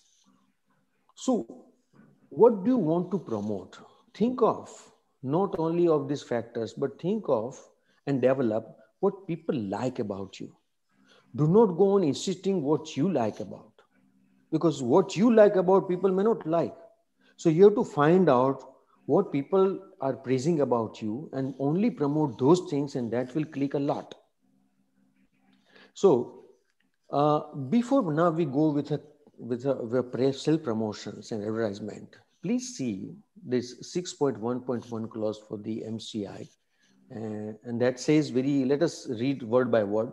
Soliciting of patients directly or indirectly by a physician, by a group of physician, or by institutions or organization is unethical. That is number one. Although we need to have a movement to fight for the freedom, ultimately some date will come where we have to advertise our whatever is the uh, specialty. The second very important point with uh, ethical advertisement, a physician shall not give therapeutic article in any form or manner of advertising through any mode or shall he boast of cases, operations, cures or remedies or permit the publication of report thereof through any mode. So you have to be smartly avoiding these potential litigations. So you have to be very careful that you do not go so much high so that it will be in the eye of all other administrators. Now, very important thing is that you want to say something like, you know, guaranteeing other things. So I, in my uh, file, I, I write down like medicine is not an exact science there is an unknown role of nature. I simply assure you my best efforts. And I also talk to the patient that nature surely would support my best skills for your complete recovery. But what actually I do is a modest way. I am not boasting, I am not showing off. But what I actually do is I say I guarantee. But the word I guarantee is so much, you know, arrogant. So as I simply assure you, or say uh, I am the best in the town. I cannot say like that because again arrogant. So I say my best skill will be supported by the nature. So these are the tricks by which you can say that I am the best. So once you have something which you think you are going to promote, take up this as a product. So you have to plan that, you have to prepare for that, and you have to propagate. So you know which are the best, best quality which are going to be praised by the whole lot of society. So there you have to have this so where should be your presence of your product? That should be in all your stationaries, all your brochures, display boards, internet presence, and also whatever you are going to uh, give as a flyer in a periodic in social media. All these things is very important and all the time you have to see that you remain updated. If the phone number is older one or the email is older one, you need to check it that everything is updated with that information.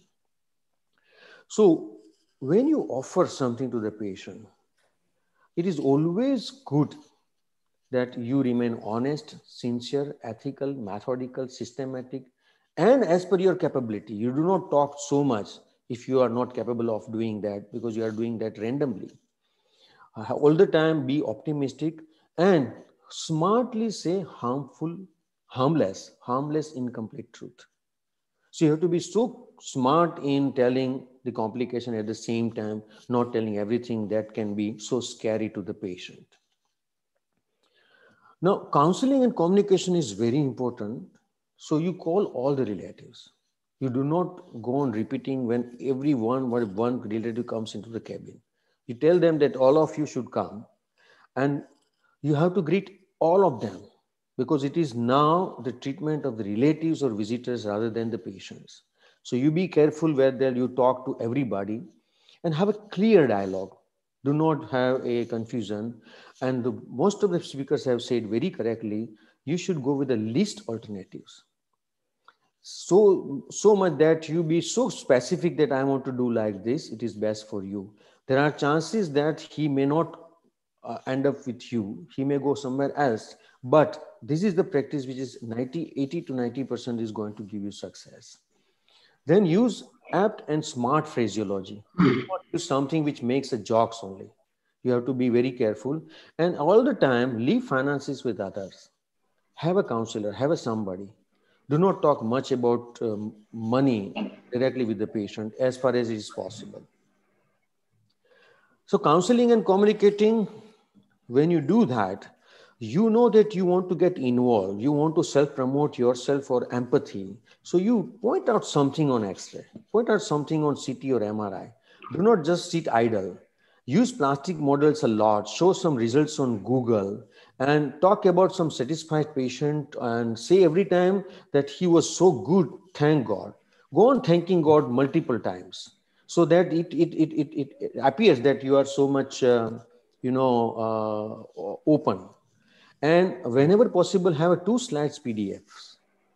So you quickly want to show something. So have a two slides presentation of all the cases which you have done the best and ask them to be part of treatment. Now, this is very important in counseling. Tell them we together can only get the best results. So say that it is only 50% in, on my side. And I always say that it is only 25% on my side. And rest of half half is with the God and with yourself. So I'm, I'm not able to do everything together. Very important point in marketing or self-promotion is a care of key opinion leaders. You need to go for free of charge work. You need to go on uh, having a smart reminders that what has happened to that. And you have to respect the referring person. Every time he may be talati, he may be sarpanch, he may be the elder person in that village always talk about him and say that give my regards or say hello to your whosoever has referred and always help colleagues in a big way when colleague is asking your help that is a key point to promote yourself maybe you are sacrificing your practice you may be sacrificing your time but see that you help wholeheartedly to your colleagues whenever they are in need now this is very tricky the estimate or bill and most strongly presented element in our case. So it's a major role in popularity because even if you take 5 lakh rupee and patient is fine, he would say, no, he is a fine doctor. But if you take only 1000 rupee and the result is not good, it's going to give you bad name. So bad name is because of the result. But at the same time, you have to see that you do not unnecessarily charge very high. So organize this type of task with the counselor or the other person who talks about the bill a lot and very importantly, if you have something which is like a limit, show and guide them where less expensive treatment is available. I learned this from Dr. Vijay So you have to be with the patient. You tell him, yes, so and so government hospitals, you can get it at a lower rate and so and so. And very important thing is if you are very careful with the administration, charge less than estimate. So you give a very big estimate and when you charge less, all patients will be very happy. So that is another good method of promoting yourself as far as your reasonable earning is concerned. Everybody has said very well that your appearance reflects quality of your surgery. Will my screw will be longer or shorter? Will my screw will be apt or not? My length of the plate will be good or not? All depends on my fitting of the dress, my language, my attitude, my voice clarity, my facial expression, and my lifestyle. So from there, there is an indirect communication and dialogue or sort of a, you know, uh, impression by the patient that will he be able to do a nice and precise surgery on me? Very important point is that do not spend money on advertisement or big boards because free opportunity is there when patient is in the waiting room. It's a very, very important time when they are waiting for you so fully utilize time of all visitors in the waiting room, the best, most effective, costless opportunity to promote yourself. So have a clear display of facilities, expertise, and affiliations. And that is a time where they have nothing to do but uh, a time for you to promote whatever you have in your facility or institutions. Another very important thing is that do not think that what you are talking about is, is perceived there is a collateral impressions. The relatives and visitors, they know everything. They already have decided that if I get a femur, femur fracture, whether I'm going to come here again or not, although they have come as a relative of the patients. So there is a collateral impression of whatever you do, whatever your staff do. So person who is paying the bill is again a very important. He is usually not the patient but you have to be very careful that he's an elderly person who is paying the bill or the contractor or the uh, or the you know owner so you need to see that they are comfortable while paying the bill. Of course the patients get collateral impression. Referring person he keeps a note in the society. I referred and what happened to that. So be careful to give all feedbacks to that. Very importantly all your hospital staff they know how do you deal with that. They also create a good impression in the society. So that is the collateral impression we have to be very careful as a whole to the society. So beware to signify self, create better impressions and see that it is perceived as a collateral. Most and potential source of future patient is your collateral impressions. So that will bring more and more patients. Another point for that is your team, your staff should be always free, fresh and smiling once you have prescribed something which is not available in the in the in the pharmacy it's, it's a big panic so do not do that because it is a collateral impression that you something you do not know about your own chemist and you are going to prescribe have to have a single window administration that gives a best uh, comfort cultured and comfortable ambience it has to be culture it should be with the you know regional area and it should look like that it is our hospital our uh, culture. Strictly not bad smelling. Take immediate action if the waiting room or OPD is bad smelling. That gives a big, big, very bad uh, sort of a negative impressions. And always use a full illumination in the OPD area. In the OPD area, do not try to cut off lights. You can do everywhere else, but in OPD, it should be fully illuminated.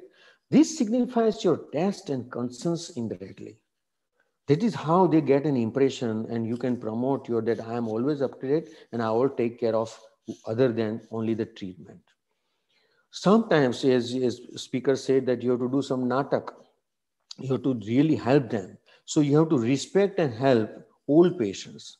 Come out of the opd greet him help him to come inside the OPD to the disabled patients and also to the children, play with some with the children because they want that the doctor is in part of, their family.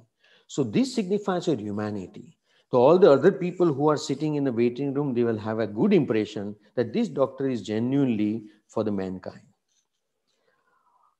When patient is critical, team has to be serious. Please avoid if the patient we are very uh, bad in bad conditions and the staff is taking selfie that is at all not allowed. So you have to have a big sort of a eye on this type of incidences. Be very careful for that. Then damage control. Sometimes we do not know. So take all safety measures. Everything in your opd area including the electricity or the lift or whatever you have to take all safety measures buy all accessories for new equipment. Never say that I have bought it, but these type of facilities I have not bought. So whenever you want to buy anything new, maybe CT scan, MRI, or whatever the gadgets or whatever, buy with all accessories, keep all gadgets up to date. It's not like this for last two days, the cold water is not available.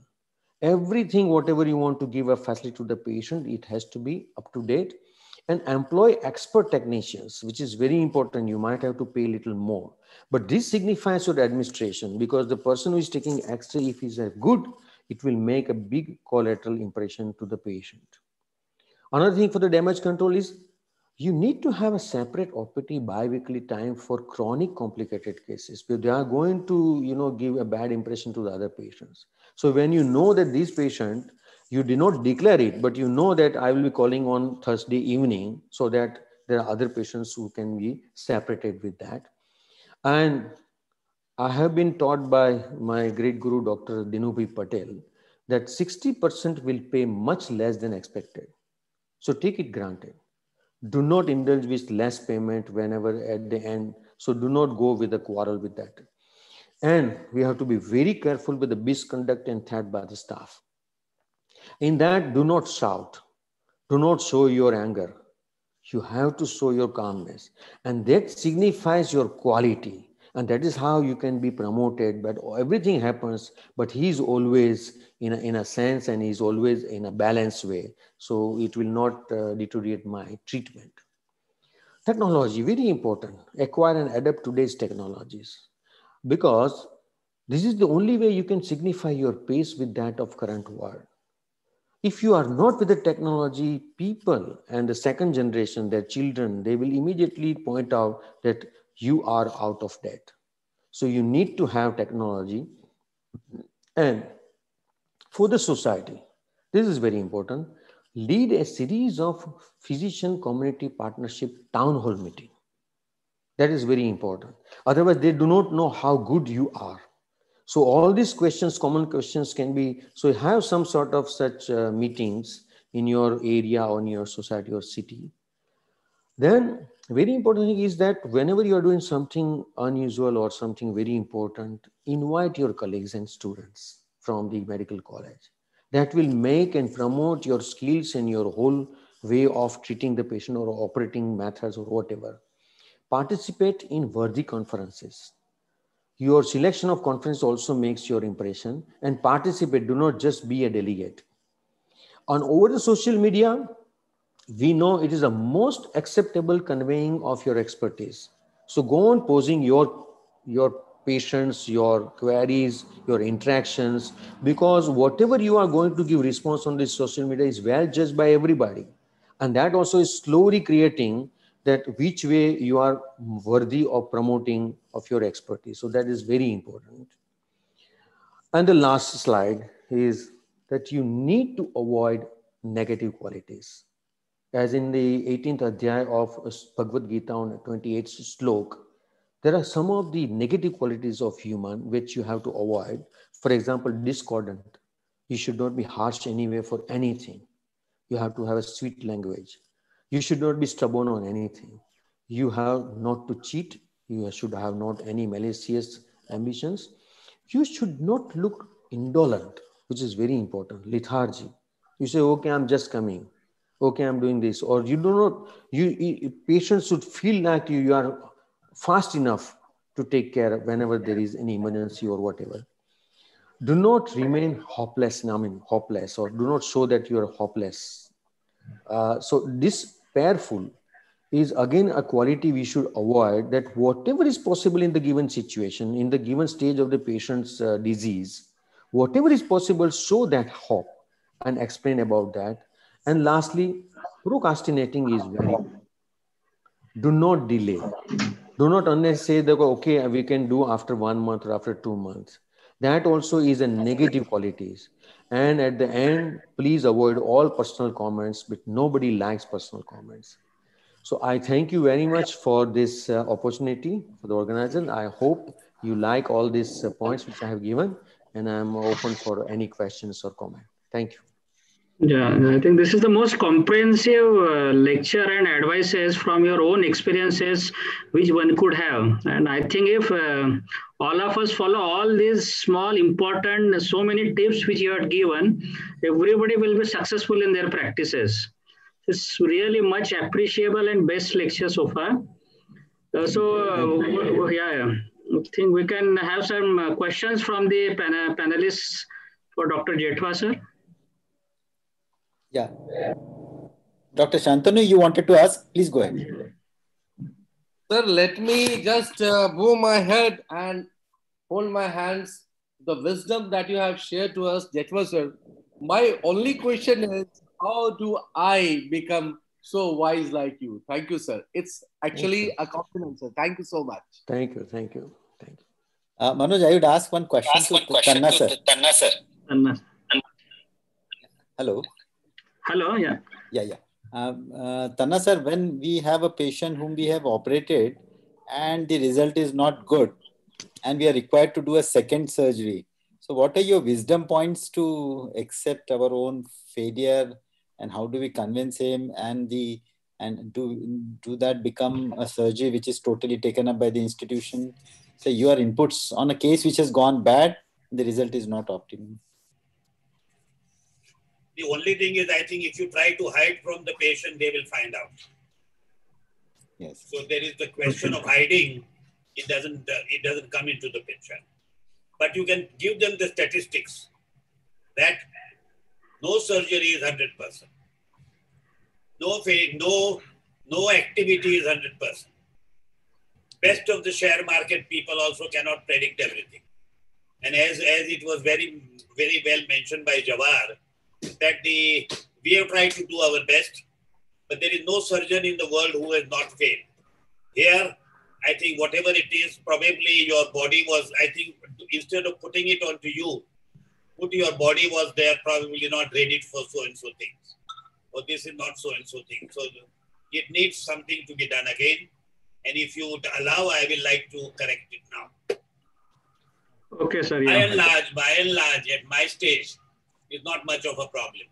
But at the same time, at the same time, patient will seek another opinion before he, if they, they go on getting a second surgery by the same surgeon done. Except it is in first two, three days. That is different thing altogether. Right. So Thank you so yeah, much. so now we come come to the most uh, again uh, next uh, awaiting lecture from the eminent uh, faculty Dr. Gurava Reddy sir, the well-known figure in joint replacement all over India and across the world. So everybody, every orthoplastic surgeon has a wish to have numbers like him. So let us hear from him about the tips for patient to accept the scientific advice advice for joint replacement. Yeah, good morning, everyone. Can you see my uh, screen? Yeah, we can see you. Yeah, okay. And uh, I should say Dr. Chandak has put me on a very, very uh, d- disadvantageous position after six great talks where 80% of my thought process has been covered in a beautiful slides. So I don't have any. Gaurav, Gurava, what I would request is say everything. Huh? How you have come around to this, you say everything. Okay, sir. Thank you. Uh, so I would just, I thought I kept my slides just to scientific advice for a replacement, but I reflect upon some of the things also, what I feel that uh, which are right things to do. Uh, right. I think this is this slide epitomizes all the practice now. आज मेरे पास the doctors we all belong to Amitabh Bachchan. आज मेरे पास super specialisation degree है gold medals है international paper presentation है tons of good skills hai. Kya hai tumhare paas? Shashi kapoor rmp doctor is saying mere paas patients hai. Okay. And this epitomizes the whole practice or why this discussion is there today. So basically it all depends on how to manufacture a patient.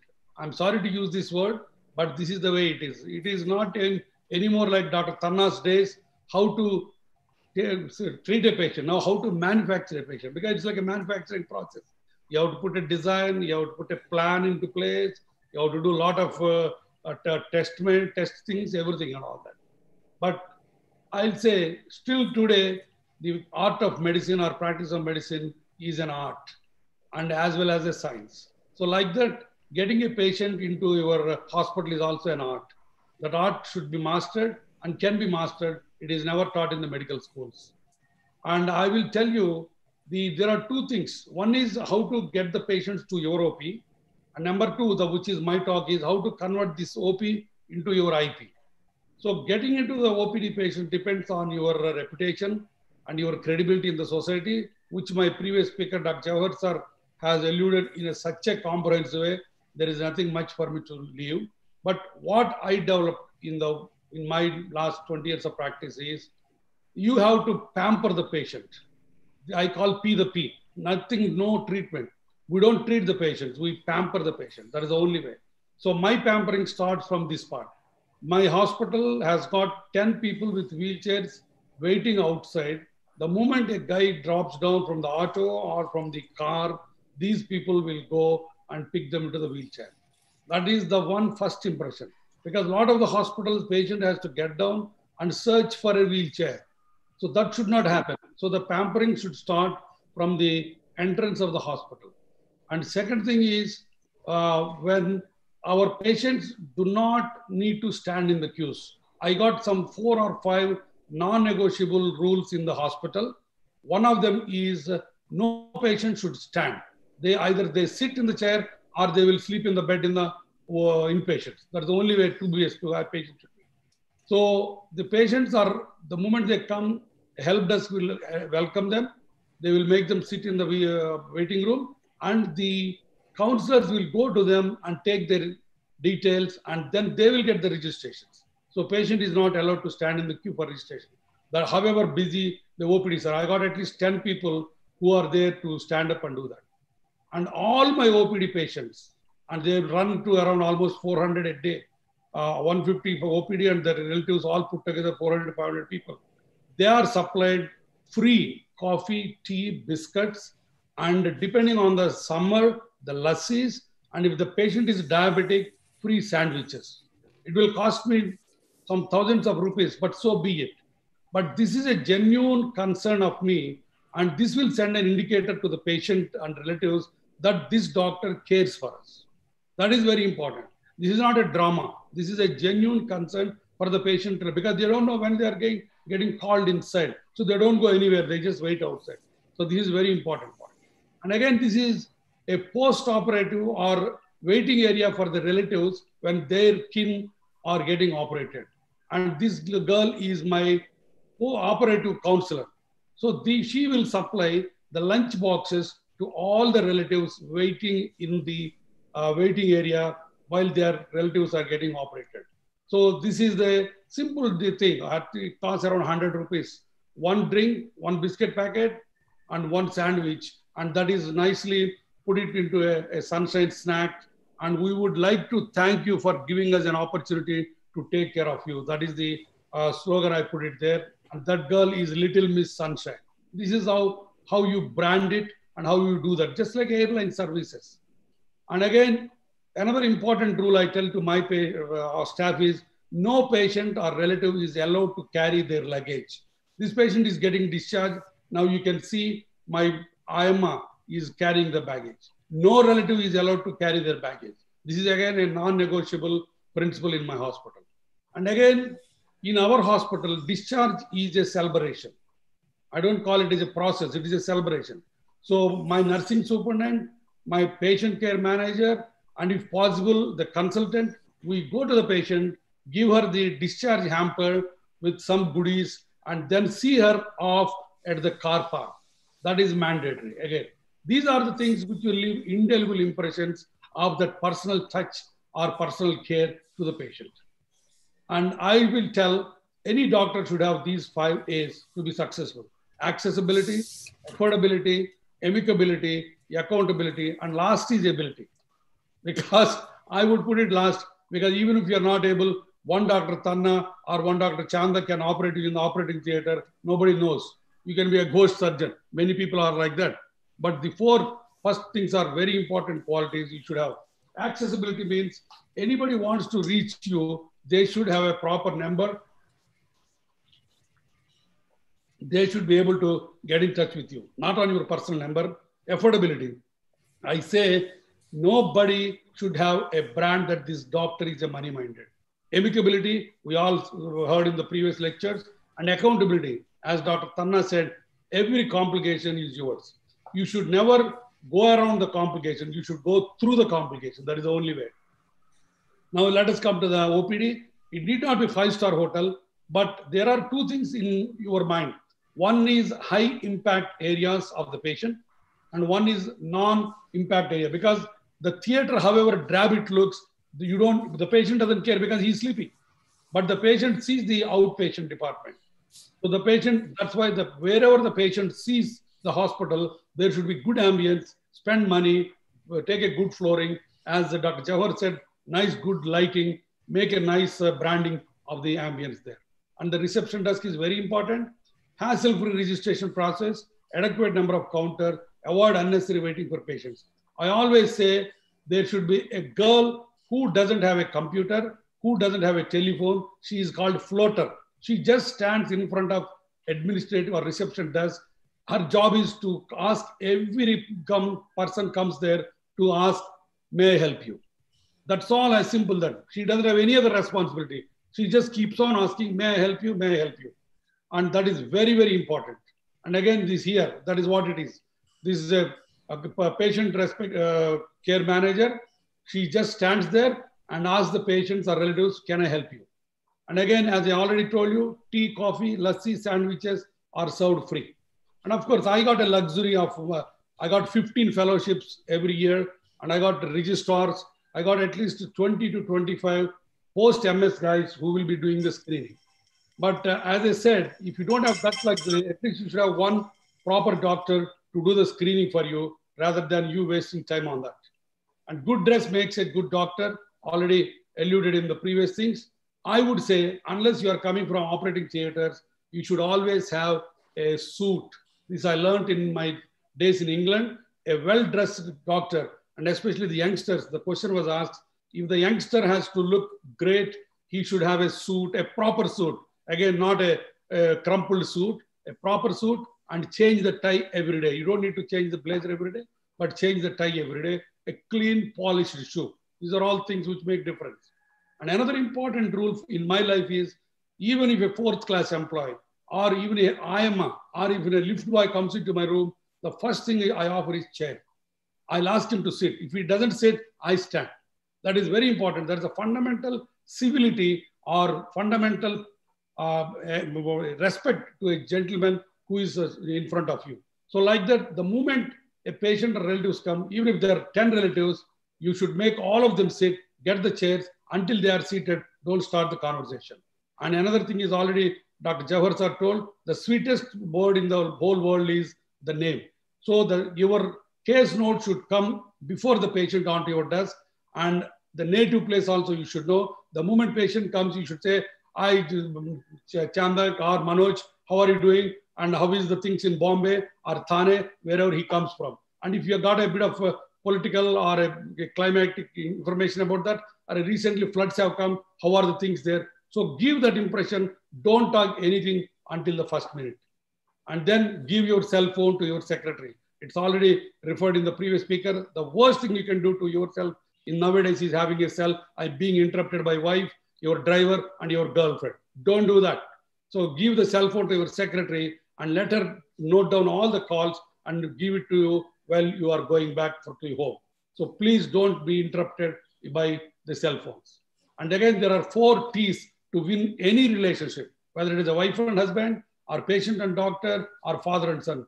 Time, I call four T's time, touch, trust, and talk. And how many times we forgot the touch? Of course, unfortunately, nowadays with the touch of this thing, Me Too syndrome, you touch a person in the wrong way, that's a different story. But the touch is very important. You put a hand on the shoulder of the patient or take the patient's hand into your hand, she will not leave you and she will not forget you. So same thing, trust and time and talk. And fruitful five minutes of the, your consultation. Number one is building rapport, calling the name and talking to his native place.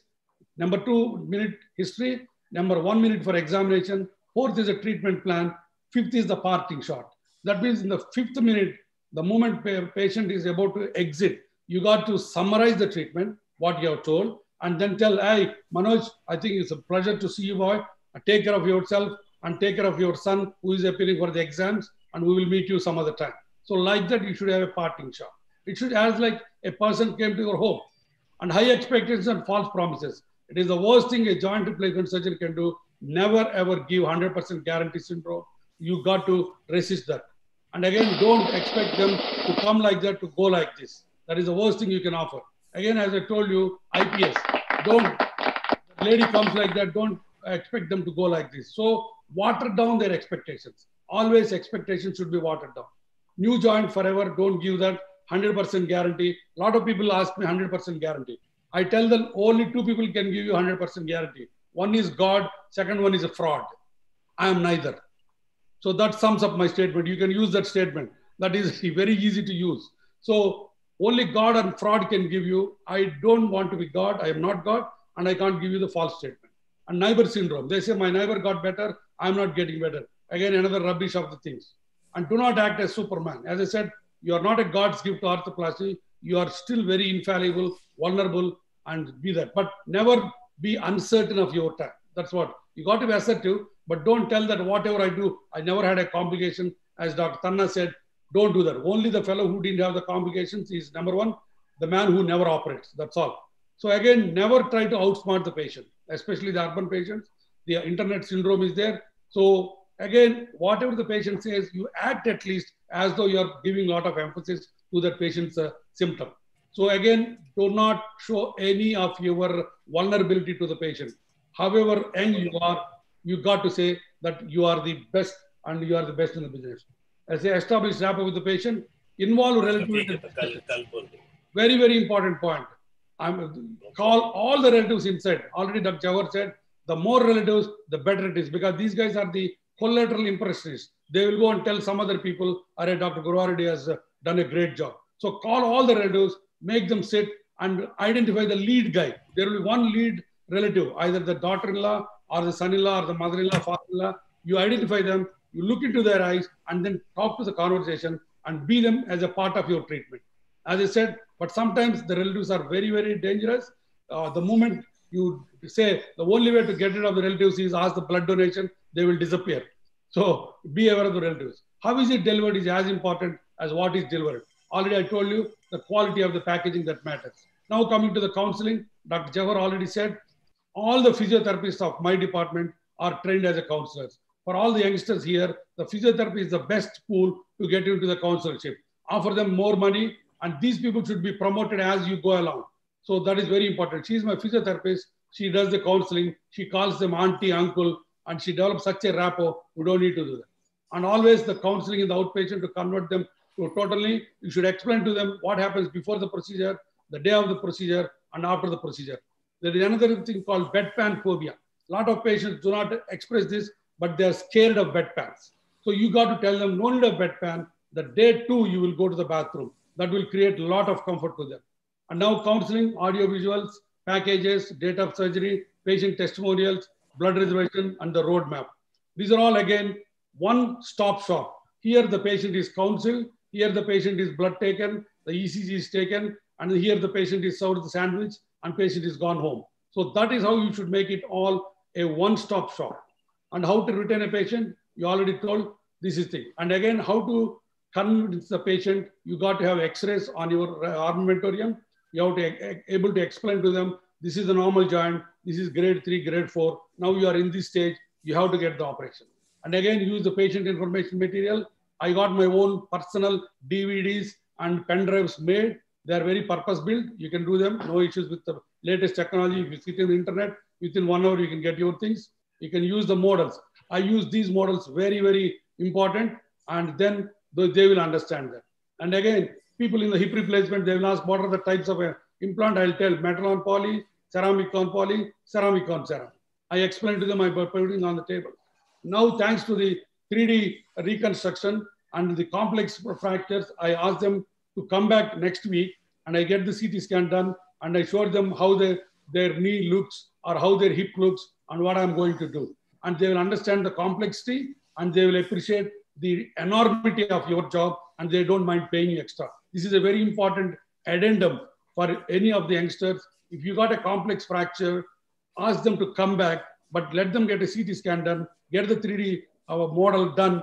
Every place there is a facility to get the 3D modeling done. And again, a chart of the procedures, but don't show them the blood. Use the animation. There is a plenty of animations again available on the internet. Use the animation, show them how the knee replacement is done. Again, an important slide. A lot of people ask how many days a ceramic hip lasts, how many days a metal hip lasts. This is a beautiful illustrative slide. You can tell them this is the wear and they will understand very easily. So these sort of the key slides are very important to tell them. And again, Dr. as Dr. Jawahar said, I got the Mako robot. So you got to again explain to them the cutting edge of the technology and show them some slides where they will understand the, the what you call nitty gritty of this one. And again, patient testimonials, get a nice videos before surgery and after surgery. Show these videos that will give lasting impression. While the patients are waiting, or while the patient uh, and gone to the counselor, you don't tell this yourself. You tell the slide. This slide should be running on the TV so the patient knows how qualified you are, how many degrees you had, how many years you spent in England, what is your position, so they will understand this. This is again Dr. Jawahar told in a beautiful uh, expression. So they develop route maps and protocols. Again, a beautiful English thing which I learned. Every problem, you should have a route map and protocol. This is my roadmap. Uh, my counselor will explain the patient starting from AVGR has seen and a pre-op done, the cardiac has done. Suppose your cardiologist wants a DSC, the coronary angiography, then you will go in this route or you will go in this route and you are discharged. So this will be self-explanatory. This will be self-printed, available to the patient, and this should be given to the patient. They understand very well. So very, very important. Internet inspired idiot syndrome. You all know that. You got to be prepared for this sort of guys. And a lot of people will keep on asking, I'm 100 kgs, whether I'm fit for the operation. And again, show the some slides in your previous uh, uh, practice, show them you can do it. That's why, again, complex deformities, put the slides, you can tell them, you can be happily doing this. So again, some people ask, I'm 90 year old, am I fit for the surgery? You can again show the slides. These are my girlfriends who are 85, 90. I operated them with a bit of humor, no issues about that, and show them. And again, the orthopedic evaluation, sometimes preoperatively, they end up on the cardiac table and they will be confused. So you got to tell them, if your heart doesn't agree for the operation, the cardiologist might take you to angiogram and also explain to them the spinal procedures. A lot of people have got a misplaced myth that spinal anesthesia means backache for lifetime. So you got to tell them, no, no, it's not the way, and explain to them. And again, pain. There is nothing pain-free operation, however good you are. So again, explain to the patient the relativity of the pain and the necessity of the pain and your ways to control the pain. Again, very important point.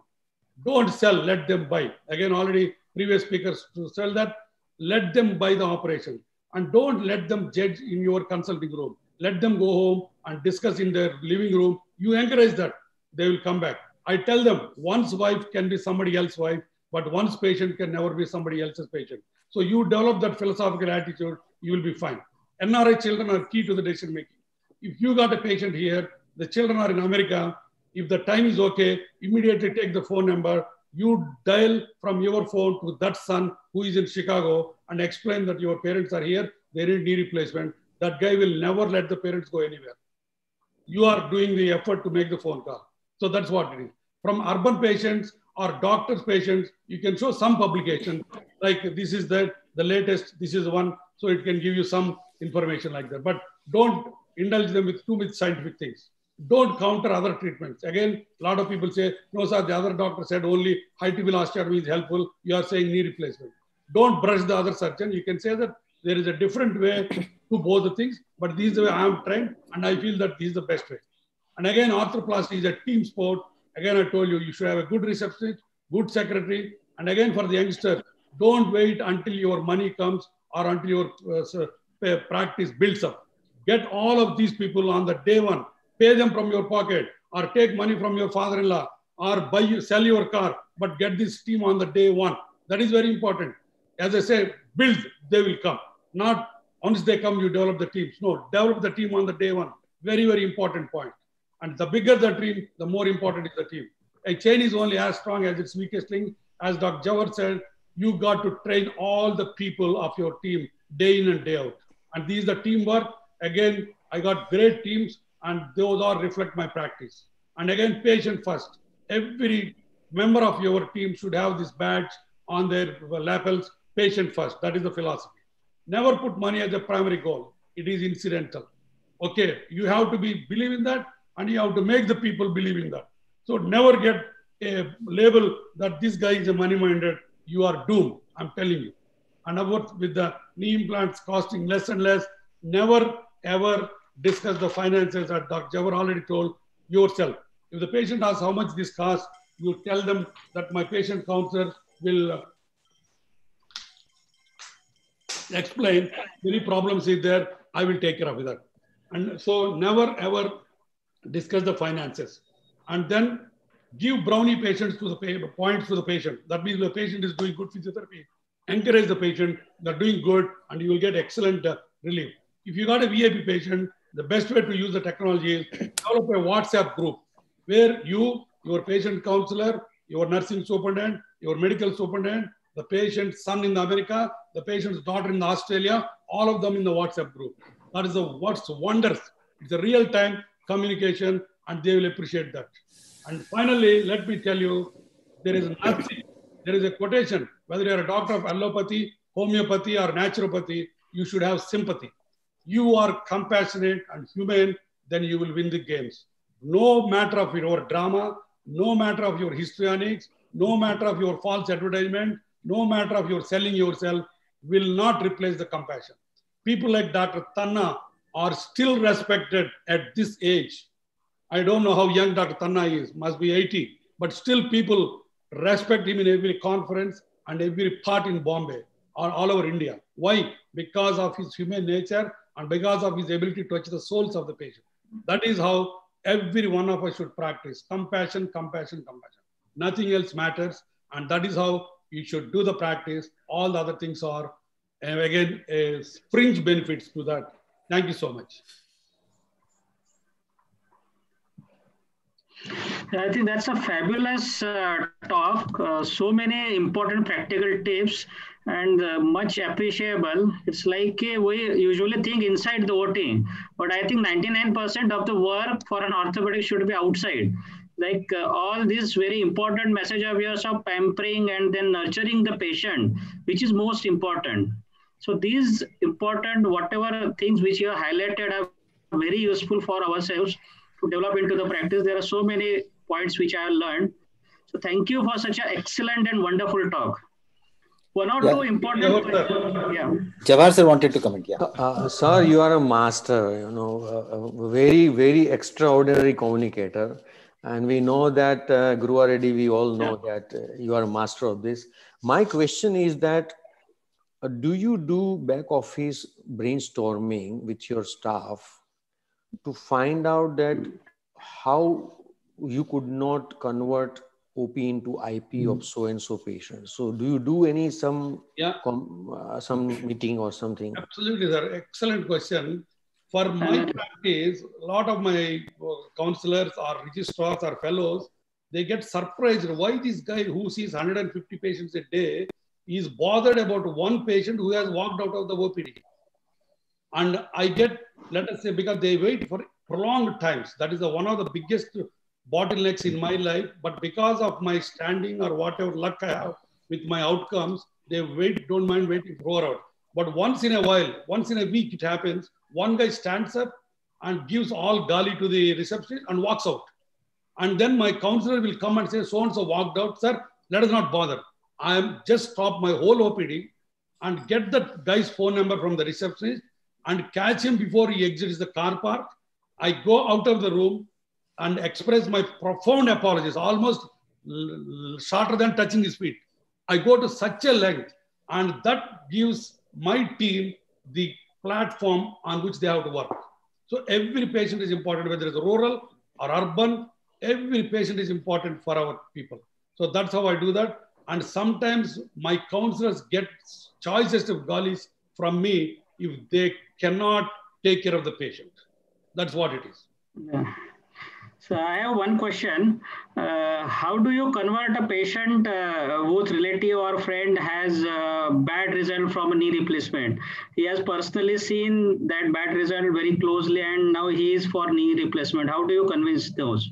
Bad result with me or with somebody else? Uh, any, it could be anybody. Oh, it could be anybody. It's very easy. No, no. I like say, if, if, if I say when when the people were asked how Atal Bihari Vajpayee even after the operation is limping, and the answer was because he wasn't operated by me. yeah, that's uh, no, no. There are two options. One is if the patient is operated by somebody else, I do not under belittle the other guy. I say that complications can happen to anybody, even it happens to me. I learned it from my boss, Dr. Sancheti from Pune. The first thing is you be humble and you say it can happen to me also. It doesn't mean that it happens to everyone. So that is the important point. Number one, I tell that and I brush them. If somebody pushes me into corner, I refuse to answer or acknowledge the technical incompetence of the other surgeon, however bad the X-ray looks like. I No, said, no, no. I think Gurava, uh, the question is different. the question question is the so many people of the knee surgeries are not doing so well. correct, sir, There exactly. is no complication. Absolutely. There is no complication. Yeah, I understand. But, but, but they are not that very happy. correct, sir, Exactly. So what is the question is how do you convince them? That's right. Yeah. Fortunately, I got two, three gadgets in my armamentarium, which, as I said, these are called white lies. They won't harm anybody, but they are not truths. They're called white lies. So in my armamentarium, I say that there are 20% of the patients are unhappy, but in my practice, I got 10 types of implants. So I will pick up one implant which suits you, which is which is absolute uh, un- untruth, untruth. But I'll give them a confidence that as though I'm having a multiple inventory, which suits them. Number one. Number two, thanks to the robot, I will say the robot will give extra needed precision so that I won't go wrong and you are there nine out of 10 times. So these are some of the window dressings and or Yeah. white lies which have to be there. Otherwise, you cannot win the battle. As I said, Yeah. one of my consultants in England used to sit next to the patient preoperatively, and first thing he will tell, you might die on the table. if you say that, nobody will come to you here. Yeah, that's true. Yes. Shantanu, you wanted to comment? Yeah. Uh, Dr. Gurava, that was a wonderful presentation, needless to say. My question is Has your show of humility or real concern ever Ever? Some, somebody's. Yeah, Yeah. no, I- yeah, please go ahead. has a show of concern and genuine bother for the patient ever backfired on you? Oh, yes, many times, many times. But that won't put me back from showing that again and again. One guy, I'll tell you one minute, one guy has been uh, advised amputation for a compound, the compartment syndrome of tibia in another hospital. I got him into my hospital. Six months, I nourished him as he's my son-in-law. I took him to the military hospital in my Mercedes car for an hyperbaric oxygen therapy and did not take any money. I tried to get him a job in a local government office. This guy went to the television and said that Guru Reddy wanted to kill me. On four televisions, one after another, he spoke. But that did not put me off. I said, thanks to you. That's it. The humanity can never be undermined because of a sporadic incident of these unfaithful patients. Wonderful, sir. Thank you. Yeah, yeah. Thank you. Yeah. Thank you, Manoj. We move on. Thank you so much. Yeah. Uh, now I request uh, Dr. D.D. Tanasar for his uh, talk on uh, 10 mantras, uh, how he handles various tricky situations uh, which uh, usually arises in our OPD practices. So let us learn from the experiences of Dr. Tanna sir.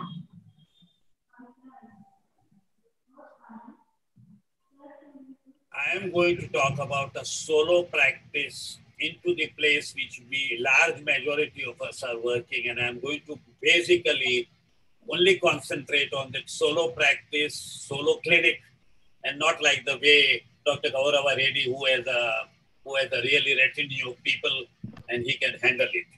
Now here I am going to talk about this solo practice. Two or three cabins, X-ray machine, chemist, sterile injections, dressings, all these things all the time And all this is presumed to be there in the efficient OPD. I'm not going to deal with it because I think we all know about it very well.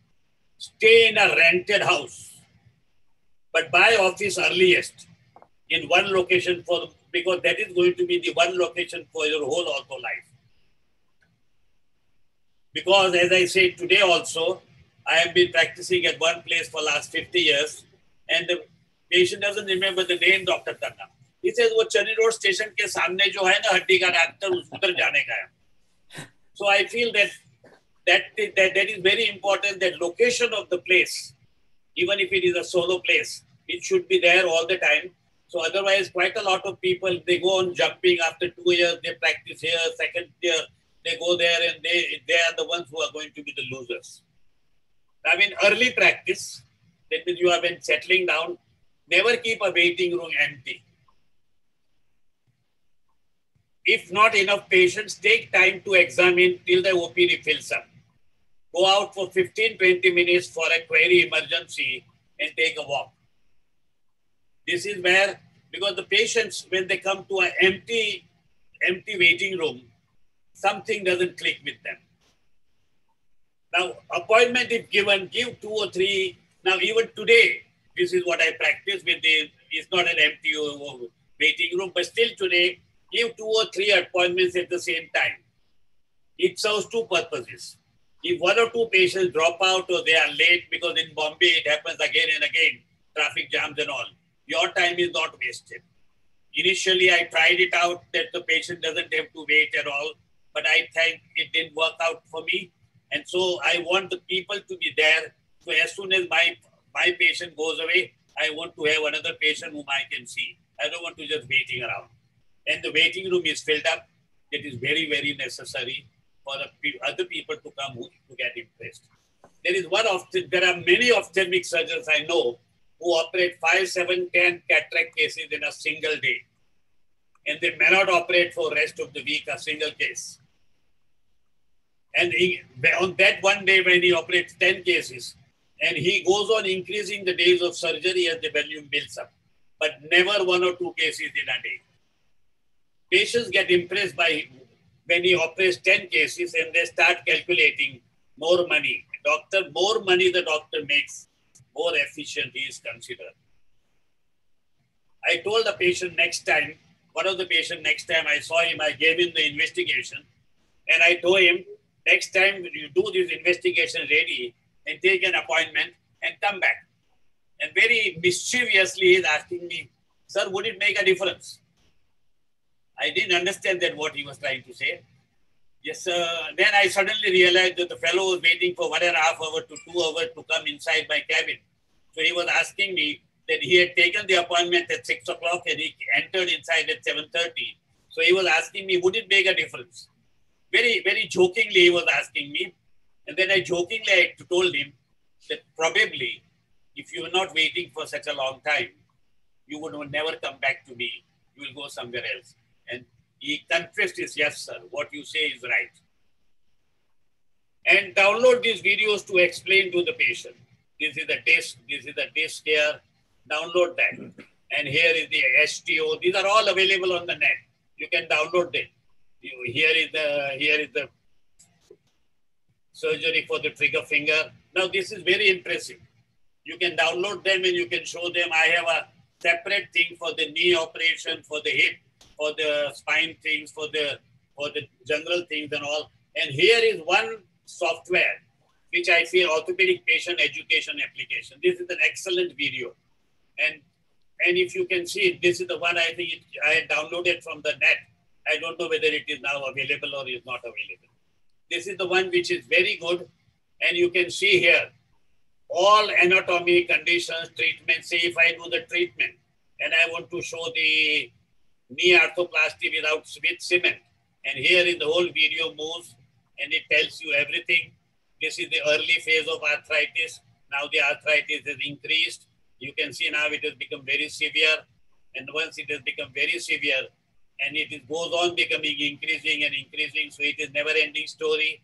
And once you do this, once you do this, now here is the one how I am going to do your knee replacement. And the same thing can be done for spines and everything. There's one thing It contains so many things which you can download. And then you give them the exercise chart. This is patient chart, which is there as you can see. And in this chart, you give him this exercise. And probably if you want to be slightly more cunning, no, for you, you don't do this exercise. For you, all other exercises are good, but this exercise is not good.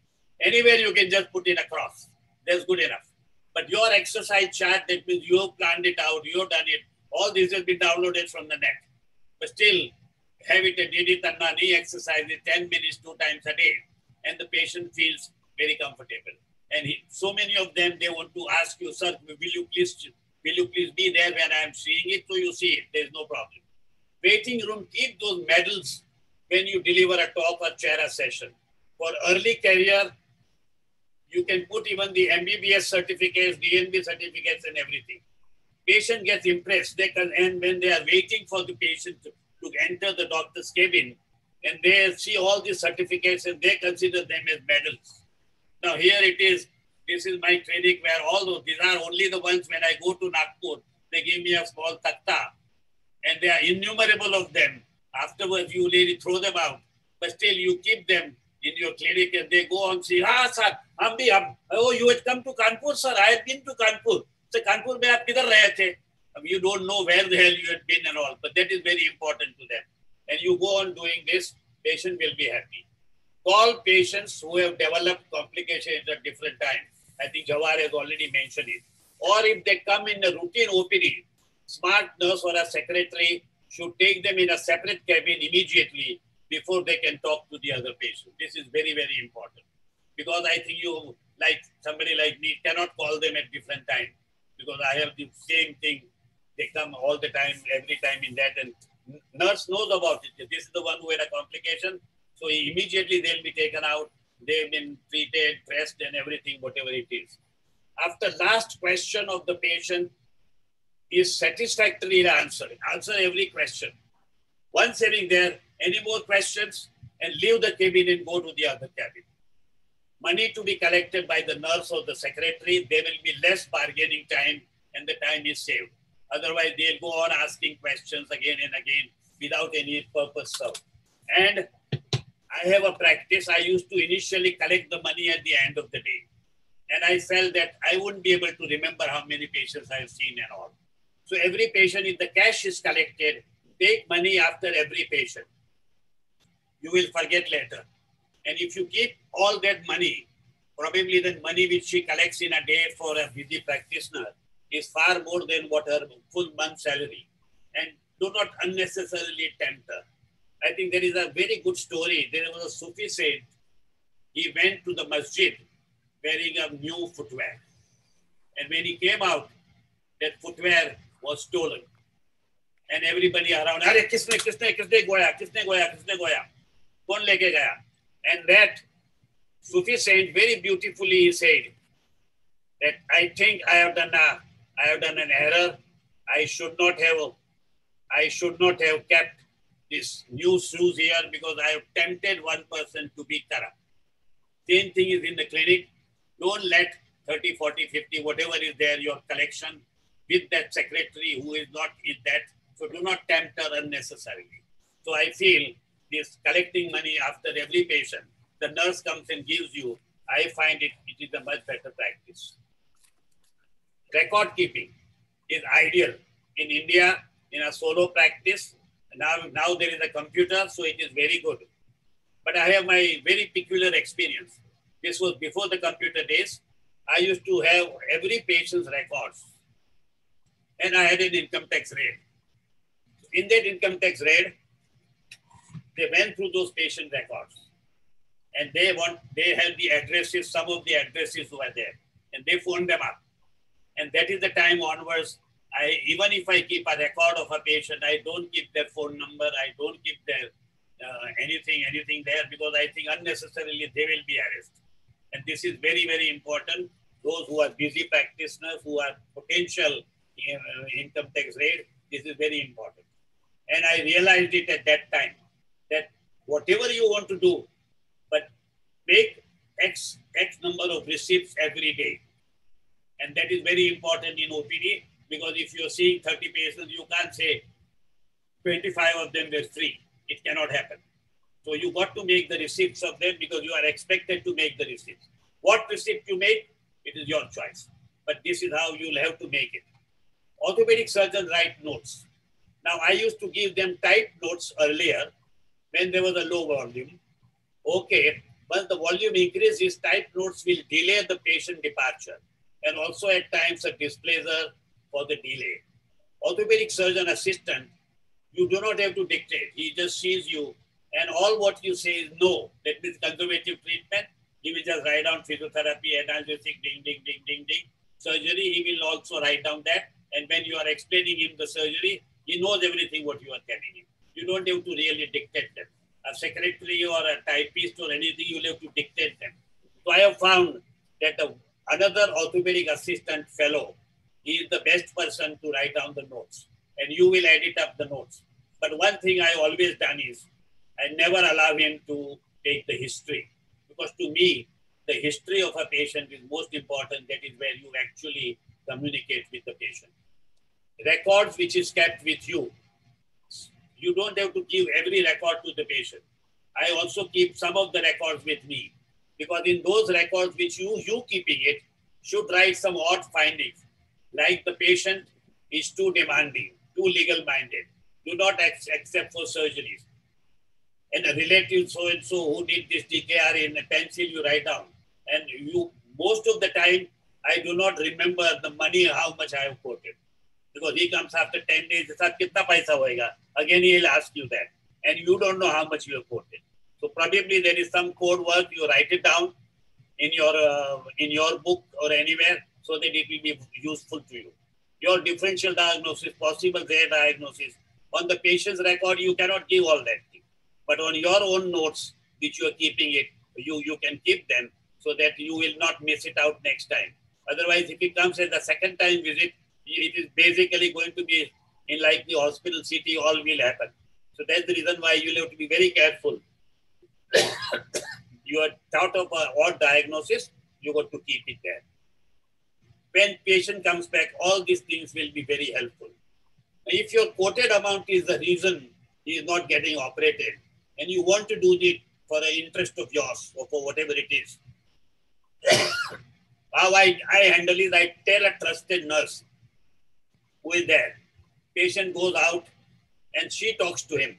क्या हो गया operation का कुछ तकलीफ है क्या नहीं इसका बहुत पैसा हो गया they say you you must not have told the doctor sir that you want to do it in general ward because he must have quoted for the for the twin sharing room. So if you do in a general ward, it will be cheaper. Oh, aisa hai kya? So then again, patient comes back and it, she can convert quite a few patients for me who otherwise have not come for the surgery, who will not come for the surgery. Because I, in my hoity-toity, whatever amount I have quoted, so many people wouldn't even ask that. Yes, sir, can you make it less or anything? And that is what I feel this nurse is very useful to me and she does this thing for me and then he is quoted and then she comes and tells me, sir, he is willing to do X, X amount. And then when he comes, you, you can really do the thing. So I feel this is very important. If your old patient who has come with the new patient, even if you do not remember, generally you hardly ever remember, see the limb of the operated old patient and appreciate it. If keep, keeping records for the presentation, take a new X-ray free. It will help your presentation in the video of the patient socialize for a short time before seeing the new patient. ये साहब को साथ तो हमारा घर घर का संबंध है patient will always tell you that give some concession as that is your favorite patient who has come along with him and the whole patients last gps never last gps will always go on changing so today at my age of 82 99% of the patients who come are all the old patients all the gps have disappeared They obviously been, for whatever reasons it is, and that's the reason I feel that if at all, all patients will last. And last but not the least, I feel this is very important, which I want to talk. Enjoy OPD. But the last suggestion is do not obsess with the patients and go on and on and on till early morning, as some of my friends do it. Ho, mere bhai. There is only one life that name and fame and money will not last. At the end of my busy life and in this lockdown, I only remember the holidays, the good friends, the hobbies, and the relatives whom I have been able to be with. I do, and I realize that you do not need much of a money in life. So please, my sincere urge, those who are really working hard and only working, please, life is not all the orthopedics. Orthopedics is only one part of your life. Do not make it the only life. Thank you very much.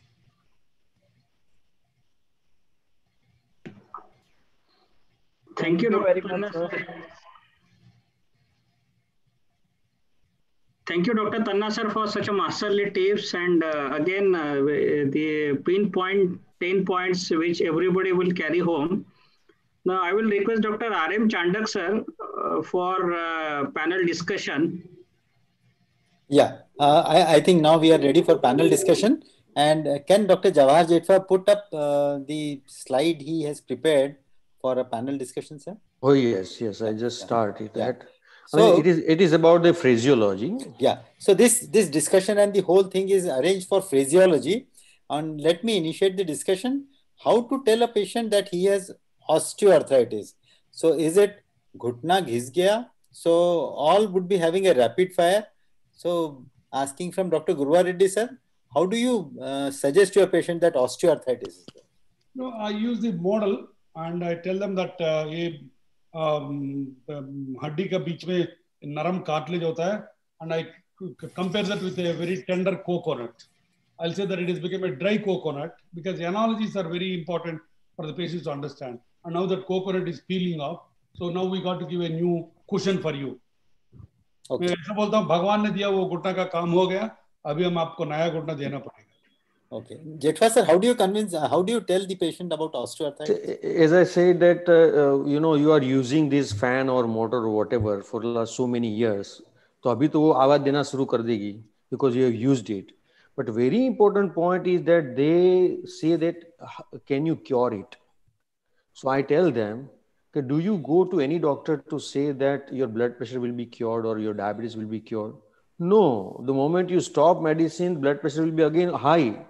So we can maintain. So never ever osteoarthritis can be cured. It can be maintained, and these are the ways we can maintain it. Rajiv Raj, uh, sir, uh, what is your Yeah. physiology for osteoarthritis? So I would start like saying, um, माँ ज़िंदगी में बहुत काम किया लगता है घुटनों के ऊपर बहुत लोड दिया दिखता है।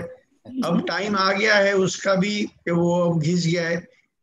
एंड uh, uh, जैसे सफ़ेद बाल काले नहीं होते गए हुए बाल वापस नहीं आते घिसा हुआ जो घुटना है उसका तो कोई रास्ता नहीं है। मैं अपने घर बाल में वो डाई भी लगाऊँगा तो दो हफ़्ते के बाद तीन हफ़्ते के बाद में फिर वाइट हो जाता ऐसे ही आप दवाई बंद करेंगे तो गाड़ी वहीं पे आ जाएगी ना so that way sort of I first appreciate the person की be you work very hard and then I well you see the knee is now bad enough and if you want to continue working you go first Tanna sir what is your words for damage knees और osteoarthritic नीज ये आप देखते हो मेरा सफ़ेद बाल देखते हो ना? अभी ये सफ़ेद बाल जो हुआ वो नेचुरल है उम्र होती है तो सब कुछ होता है ना? वो सबको नहीं होता है। किसी का सफ़ेद रहता है किसी का काला भी रहता है। ये देखो गौरव रेड्डी पूरा बाल काला है उसका। मगर जो तुमको हुआ है वो, वो भगवान ने दिया है तुमको ये तुम्हारा हड्डी घिस गया है। अभी हड्डी घिस गया उसका क्या करेगा? उसमें थोड़ा थोड़ा थोड़ा थोड़ा फ़ायदा दे सकते हैं मगर ज़्यादा घिसेगा तो बिना ऑपरेशन ठीक नहीं होने वाला है। Another big challenge to explain patient is about AVN, avascular necrosis. So how in phraseology, Manoj, how do you explain in phraseology the um, AVN? Okay so if the patient has got AVN तो वही उनको बताना पड़ता है कि आपका जो hip joint का जो बॉल है गोला जो है वो धीरे धीरे खराब हो रहा है। जैसे अपनी हड्डी का सा एकदम हार्ड रहती है कॉर्पॉल के समान। वो लेकिन अभी धीरे धीरे उसके अंदर का खून प्रवाह कम होके वो हड्डी अभी सॉफ्ट नरम बनते जा रही है। यानी अभी नींबू की तरह हो रही है। यानी अभी आप उसके ऊपर चलोगे कुछ करोगे तो वो पचक जाएगी या उसके अंदर प्रेशर आने के कारण फिर आपको दर्द रहेगा। तो धीरे धीरे ये आपका जो गोला है वो खराब हो रहा है। So such kind of physiology different stages could explain Jethwa sir how do you explain AVN I am going to show in my slide but what I say usually now let me let me just tell that slide also that one of the branches somehow has stopped getting nutrition So your whole head is not, um, uh, I mean, a problem. This is a part of your head is not getting supply. So I tell them that you have looked so so many trees. So sometimes you see one or two branches which is dried up. And secondly, I always tell them that when you are playing a table tennis, you have got a good ball. But if it is flattened by whatever reason, you cannot play it. You, you have to change it. So now your ball is flattened. So now it is a third stage. So it will not roll very well. So you have to go for a change. So and, like uh, that. Yeah. Dr. Gurava, what is your winning statement on AVN? I, I, I, add a bit of humor wherever I can. Yeah. I will say that uh, God is an engineer, but ये तो दो तीन जगह पे थोड़ा गलती किया तो body में hip joint को और wrist में एक bone को और ankle में एक bone को ये तीनों को blood supply अच्छा ना दिया So that's why. And there are three reasons. Number one is alcoholic steroid, suppose if he's an alcoholic already, I will put him into the blame game. Or if he's a girl, of course, I can't say alcoholic. And I'll probe them whether they used any steroids. And then they'll, uh, if there is nothing else there, आपको तो अचानक हो गया idiopathic. And so whatever is done, ultimately mm, treatment is the same. And then I'll explain the treatment. Rajiv sir, uh, what is your phraseology for AVN? That is. I, I, I use the same table tennis ball example that it just like a dent inside the femoral head आपका ये जो है वो के की तरह हो गया and then you cannot play the game. So coincidentally, um, although we have never discussed uh, Jawahar and me, but we have the yes. same example, the yes. same phraseology. Right. Okay. Manoj, you have any questions for all the panelists? Can I, can I okay. just say? Yes, sir. Tanna, sir. Yes. I tell them, the heart attack किसको आता है? Yeah. Yeah, I was about to वो say. जो भगवान ने कुछ सबको heart attack नहीं आता है किसी को हार्ट अटैक आता है। और वो जो हार्ट अटैक आता है उसके अंदर अपने आके स्टेट कर दिया तो फिर से नॉर्मल हो जाते हो। तो तुम्हारा जस्ट शुरुआत हुआ है हार्ट अटैक का। अगर हम कोरिंग करेंगे तो उम्मीद है कि तुम पहले जैसा नॉर्मल हो जाएगा। मगर अगर ज़्यादा ज़्यादा तुम्हारा आर्टरी खराब हो गया तो हार्ट अटैक वाले को ऑपरेशन करना पड़ता है। तो फिर वो जो उसको बाईपास करना पड़ता है। ऐसा तुमको पूरा हड्डी बदली करना पड़ेगा। तो ये एग्जैक्टली हार्ट अटैक जैसा है and that that is also the phrase I use them reason heart attack आएगा, तुम बोलेगा कि ये पिक्चर खत्म होएगा, बाद में हम कराएगा. हार्ट अटैक आएगा ताबड़तोब कराएगा ना. तो इसीलिए तेरा ये हड्डी का हार्ट अटैक है. तो ये जो अभी शुरू हुआ है, अभी ताबड़तोब उसको कोर डिकॉग्रेशन किया तो उम्मीद है कि वो बच सकता है. Thank you so much. Okay.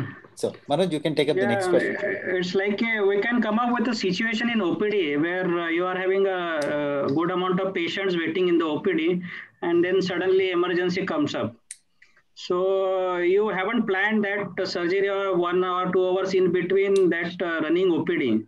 So uh, how would you uh, uh, tell the uh, staff or the patients ahead as to how will you tack- tackle this situation? I will act. I will act as though I'm acting in a teleserial. I go out into the OPD where all the patients are waiting, stand in the center, and put all the agony on my face, and uh, show my agony, and will explain with animated discussion that there is a patient on the table who is going to die unless I go there. So please bear with me. My secretary will give you coffee, tea, and sandwiches. So please, that's it. Uh, you will directly convey. That's a good thing. Rajiv Roy, sir, yeah. Yeah, usually I would have the the reception staff who would uh, um, who would sort of announce my in unavailability, having to go to the uh, emergency surgery, and then um, either a if it is got going to be a longer time surgery, in such a situation, um, a alternative appointment im- is immediately organized. But those who want to wait have to wait. I do not have the system of offering tea, coffee. And I think probably it's a good idea that uh, of Gurava that one should go individually personally. Yeah. Yeah, properly conveying message to the uh, OPDs. Yeah. How does Ashish, how does Ashish manage this? Just want to Ashish, add, Again, how much Yeah. emphasis I put it on that. And let us say, as uh, Rajiv said, out of the 30 to 40, 10 patients went off saying that they will come some other day. I will ask the secretary to take all the 10 phone numbers. They will be anywhere in the books. And on the way back home in the car, I will make call either audio or video to all the 10 members. Okay. Explaining a personal apology, and then they will come back. Good. Good point. I mean, fortunately, I'm not that busy that we, I have 30 to 40 patients waiting. But let's say around 20 patients are waiting, and uh, uh, the way it works in our center is that there is no emergency that you have to, you know, leave everything right now and go. You certainly have about 20 odd minutes or so. So in that, I generally screen who needs to be seen. We have registrars who can start going and managing the emergency, whatever it is, an open fracture or a vascular injury and uh, then, as Dr. Reddy suggested, so I pass on the message and also tell them very politely that such such thing has happened. The surgery is going to expected to take about two hours or so. At the end of which, I will all the patients will be seen whatever time of the day it is going to be. Let's say it's about eight in the night. I will see them. However, if they want to go and come back, uh, they can do that.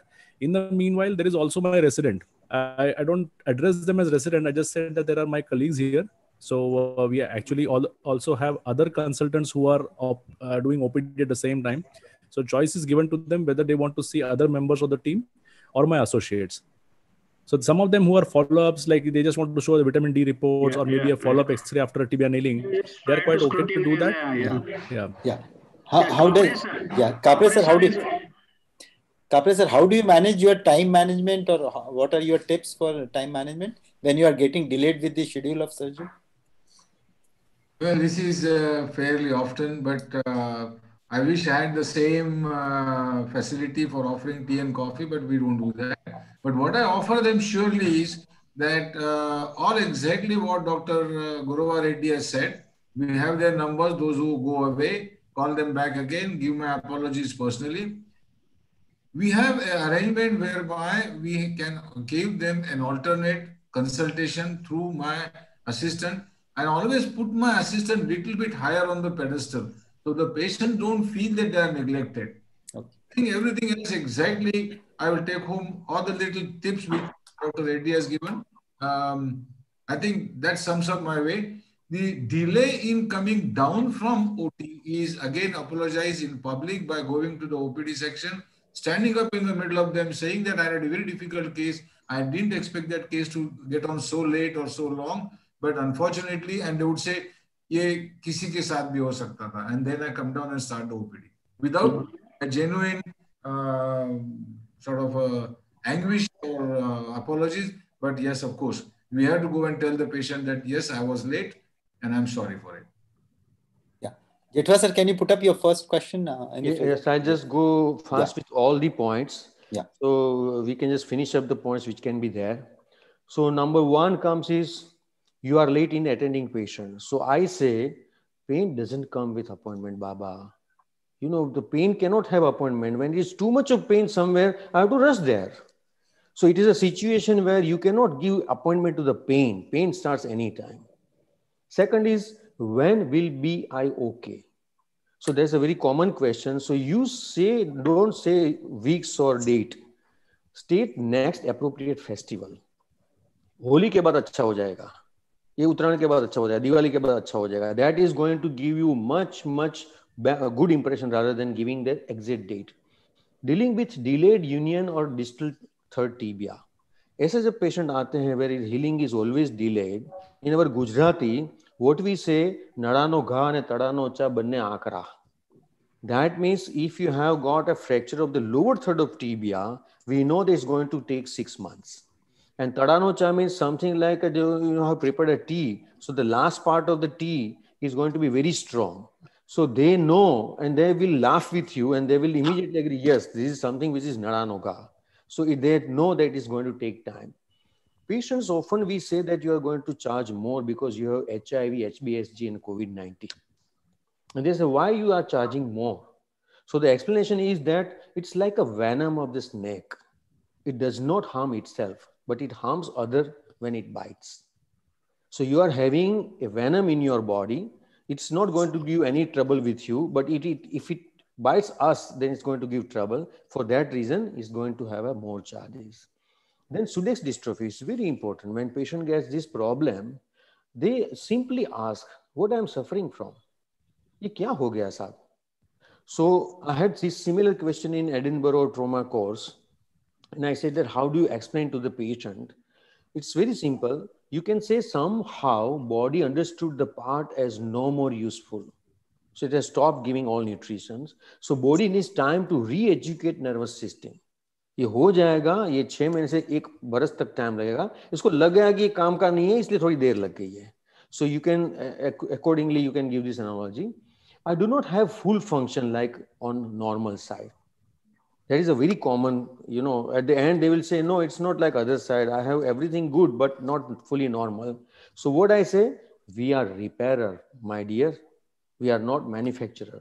Because God is great, you know. We are basically repairing what God has given. So repair is a repair. It cannot be like what is the company made. Then please give medicine that has no reaction. which is a very common thing the patient is going to ask, give me medicine that has no reaction. So I say, I just cannot suggest you any road to go back to your home. No road without accident. You are asking me that on which road I should go back to my home. Each road can have an accident. I cannot tell you. But yet all roads are open. People use. Government doesn't stop. So it is something like you have to leave it to the God. You have to travel and see. If there is an accident, it's okay. So we do not know. So that is the way you try to explain. Will there be any complications? This is a very common thing. Now, how do I explain? I simply say that we are thinking of a Badrinath tour. And the travel agent says that, yes, everything will be fine. It is uh, going to be wonder, wonderful. But you know all the uh, newspaper headlines that you may face breakdown, there can be delay, there can be accident. Now think of, do you want to go to pilgrimage?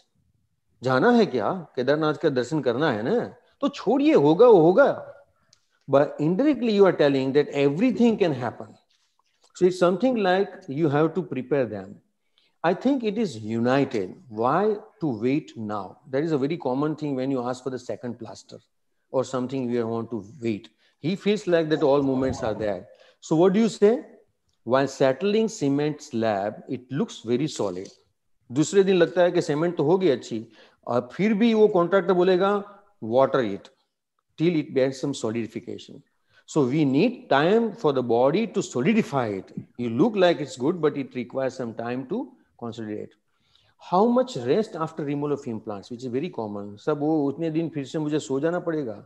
वो तुम निकाल देगा तो फिर से वो तकलीफ़ नहीं हो जाएगी। वो सड़िया निकाल दिया बोल्ट बोल्ट निकाल दिया।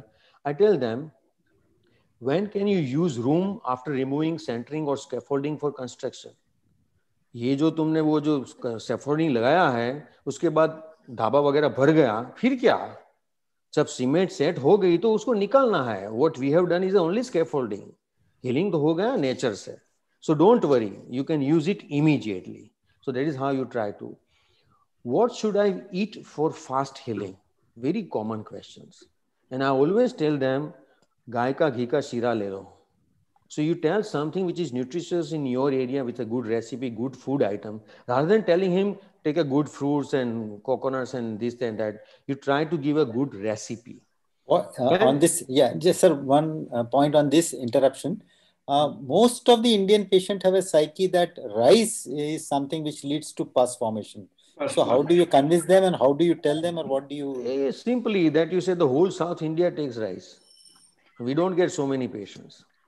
वो तो सब बातें हैं किसी को ये किसी होता है जो जिसको भी लगाना लगा दो जो होने वाला है मैं नहीं जानता तुम नहीं जानते गॉड जानता है Tanna sir, what would you say on rice or brinjal or something like that, or some, or do you give them the scientific advice of taking a nutritious diet?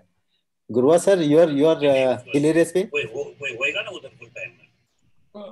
About about uh, what what what about about rice and brinjal etc leading to pus formation. so, what are your hilarious comments for them? Any any? I will tell that uh, if you uh, do uh, what do you call i don't say that in a very crude terms but he says that if you have a family life on moonlight you will have a baby boy and if you have amavasya you will have a baby girl like that. It is not like that. It is a complete uh, uh, myth myth. It's a, it's a myth. You eat whatever nutritious you yeah, want. Yeah, whatever is that. Yes, sir. It's a load okay. of. Yeah, okay. So please go ahead. Uh, so now, Can fracture not unite fast? That's a very very important thing. साहब आप तो तीन महीने बोल रहे हैं वो एक एक महीने में हो जाए ऐसा कुछ करो ना. So what do I say? No medicine to deliver baby in five months. वो किसी को बोलो कि कहीं से भी दवाई लेकर आए पाँच महीने में वो डिलीवरी हो जाए no medicine can remove the sutures in three days भैया, ये ह्यूमन बॉडी है, ये गाय या भैंस या वो डॉग नहीं है, सबके लिए अलग अलग प्रॉपर्टी है। हमारे लिए प्रॉपर्टी है नाइन मंथ्स में ही बच्चा होने वाला है। तो ये दोनों think that it will be in one month it will be healed it takes its own time so you have to wait for two months और three months so like that I always tell them then why this fracture is not united and other fractures have very common thing साहब, इसको सबको अच्छा हो गया, ये ये पाँव में अच्छा हुआ, ये पाँव में नहीं हुआ पोलिट्रोमा होता है या he is comparing with the neighbours so I simply tell them variation in growth of series of आसो पल्लव देखो, यहाँ जो सब आसोपल्लव लगा है सबको वैसे ही लगाया था, सबकी लेंथ सेम है केयर सेम है सीज़न सेम है, कोई लंबा हुआ, कोई नहीं लंबा हुआ। यही तो अटक गया है साइंस यही तो अटक गया वही तो हम भी सोच रहे हैं कि सबको सीख दिया है तो यहाँ से क्यों ये नहीं हुआ? होता है, वो तो हमने सब जगह देखा है ऐसे जैसे आसोपलों में भी होता है, सब ट्री एकदम बड़े नहीं होते, कोई होते, कोई नहीं होते, ऐसा है तुम्हारा। So likewise you can explain why so big difference in charges which is very important people will say कि तुम तो बहुत पैसे बता रहे हो, और कम क्यों है? और उनको उनको ये जानना है कि if you are charging less will it be a less result तो I always explain there is a big difference between tickets for local bus and business class flight to Bombay देखो भैया, तुम बिज़नेस क्लास में जाओगे तो वो तो कम से कम आठ दस हज़ार रुपये की टिकट होगी। लोकल बस में पाँच सौ रुपये में जाओगे। जाओगे वहीं, जाओगे मुंबई, कोई तुमको नागपुर नहीं भेजने वाला। तो वो चेंज मत करो, वो मुंबई जाने वाले हो but you have to have see what is the comfort in travelling so you do not give any impression that it's going to be a substandard result. Result will be best. Then, when will i be fit? साहब, मैं वो कब अच्छा हो जाऊँगा? कब चलने लगूँगा? क्या होगा? So I simply say for fitness you are fit to discharge देखो, आप तुमको डिस्चार्ज होने के लिए तो फिटनेस आ गई। जैसे तुम घर जाओगे दो तीन हफ़्ते में तुम्हें फुल फिटनेस आ जाएगी रूम में तुम चल सकोगे। और फिर तीन, दो, तीन महीने के बाद तुम बाहर भी जा सकोगे जा, वहाँ जा सकोगे। इट डिपेंड्स ऑन फिटनेस और तुम फिर बोलोगे नहीं, मुझे तो गोलकीपर बनना है फुटबॉल टीम के लिए तो फिर एट मंथ होने वाले हैं। तो फिटनेस तो आज ही है, अब तुम जा रहे हो घर, वही तो फिटनेस है। So tell them that the fitness depends a lot on what you want so that is the only way to show analogy of daily work then why non union why all failed इसमें क्यों, हड्डी क्यों नहीं जुड़ी? That is a very common question. So I say most settle in US, but a few come back due to multiple and unknown reason. साला इनके लड़के को भेजा अमेरिका तो वापस आ गया। वो बात सबको लग जाता है वो मालूम ही नहीं है क्या क्या इसमें रीजन होते हैं क्या क्या होता है। रिसर्च इज़ गोइंग ऑन हम उसी सच में हुए हैं और बहुत सारी कॉन्फ्रेंस चल रही है। हमें नहीं तो जानते हो ना भगवान को कौन जान सकता है? ऐसा है। Likewise you try to show that there is a possibility will implants require removal which is a very common question there is one more thing i add up there. Yes sir. That तुम शादी किया है। Hmm. किसी का किसी का marriage अच्छा चलता है किसी का मैरिज अच्छा नहीं चलता है। और किसी को तुम बदनाम कर सकता है। तुम्हारा ऊपर ही है तो हड्डी का छोड़ने का भी तुम्हारे ऊपर है। हम शादी तो करा देते हैं मगर हड्डी छोड़ना तुम्हारे लोग के ऊपर है। तो वो जुड़ता नहीं हड्डी शादी चलता नहीं है तो वो आपका ही कुछ कुछ उसमें होता है इसलिए शादी चलता नहीं very true, think, very true. I think Madan Kapre sir would be uh, realizing Mar Marva sir used to explain it beautifully. He hmm. used to say cellular response, uh, failure of cellular response to throw callus. And that one word, I picked up the sentence and that was a very good sentence. Failure of cellular response to throw callus. I think that also yes. is a very good word. Yes. So sometimes it happens that they will ask you, will implants require removal? I say only if it is hurting your body or it is hurting your mind. अब ये स्थलिया तुम्हारे दिमाग में चल गया तो वो तो निकालना ही पड़ेगा। अभी जब वहाँ है तो ज़रूरत नहीं है। And second thing is very lighter note is अभी यार देखो ना वो तो बीस हज़ार रुपए का तो डाला है। अभी थोड़ा प्राइस तो बढ़ने दो फिर निकालेंगे बेच देंगे। You know you just make a joke of it but you do not अगर उसका भाव भाव सोना जैसा होगा तो निकाल देंगे। Yes, अगर आप आपको नहीं देंगे हम रख लेंगे। हम रखेंगे। then uh, there are only one or two slides. Please charge reasonable. I do not have mediclaim. ये सब लोग बोलते हैं in a solo practice is very common. So I tell them government's guideline जो पूरी जो पार्लियामेंट बैठी हुई ना दिल्ली में the government's guideline for reasonable charges is as per mediclaim उसमें फिक्स होता है कि डॉक्टर जेठवा को इतने से ज़्यादा पैसा नहीं देना तो मेडिक्लेम वाला तो सबसे रीजनेबल है। हाँ तुमको मैं रीजनेबल से कम करके दे सकता हूँ। लेकिन जो रीजनेबल है वो मेडिक्लेम वाला है। Because there are so many people who decided this charges not hundred percent recovery ये सब बोलेंगे। सब बराबर है, लेकिन पूरा सौ टका तो नहीं हुआ। कुछ कुछ तकलीफ़ है। मैं बोलता हूँ, बाबा, somebody has stolen one lakh rupees from your pocket. with a very hard time police has tried to recover 99000 अभी वो हजार के लिए क्या रोते हो यार तो 99000 तो मिल गया ना तो फिर खुश हो ना and this is so effective so effective that every time i have seen their uh, response they are always happy and they always laugh with you and they will and as well as, as far as avascular necrosis we already talked about i show them this picture that some of the things are not and i show them this picture it is a flattened ball The last one is osteomyelitis. they say सब ये ये तो पस निकलता ही रहता है तो पाँच बरस हो गए तो उसमें, इसमें क्या मैं करूँ? And will it be cured anytime? So i tell them, it's like a ink absorbed by the chalk. ये जो चौक है, वो तुम सही में डाल दोगे तो एब्सॉर्ब हो गई, अब बोलोगे निकाल दो, कैसे निकाले? ये पूरी एब्सॉर्ब हो गई है। ये बैक्टीरिया पूरी जगह चले जाता है। It's like a termite and terrorist उनको लगता है कि उसको सबको मार दिया लेकिन वो कभी इरेटिंग फिर से वो कहीं से कहीं से आ जाएँगे। तो ये एक लिमिटेशन है साइंस की। जब तक कंट्रोल में रखते ठीक है लेकिन वो सब जगह चूस गया है इसलिए पूरा निकालने का तो कोई पॉसिबिलिटी नहीं है। So likewise there are you know everybody has their own way of explaining thank you thank you so much I think Rajiv Raj also wanted to share one और two slides if you wanted to share what i was thinking was that we are already probably late yeah. so yeah i think if you want to share yeah that's fine so I, I, think we had a wonderful discussion and wonderful time manoj you would like to say something or uh, yeah. Arjot, you would like to ask something to the panelists? So I think one question we can take up is like uh, the patient is with you either for a replacement or a trauma, and uh, financial problems are there. So, uh, how do individually we tackle those patients who want to get operated by you, but because of some financial constraints? So, how do you tackle such situations? Like uh, Kapre sir, how do you do those things? Uh, not in the transplant thing.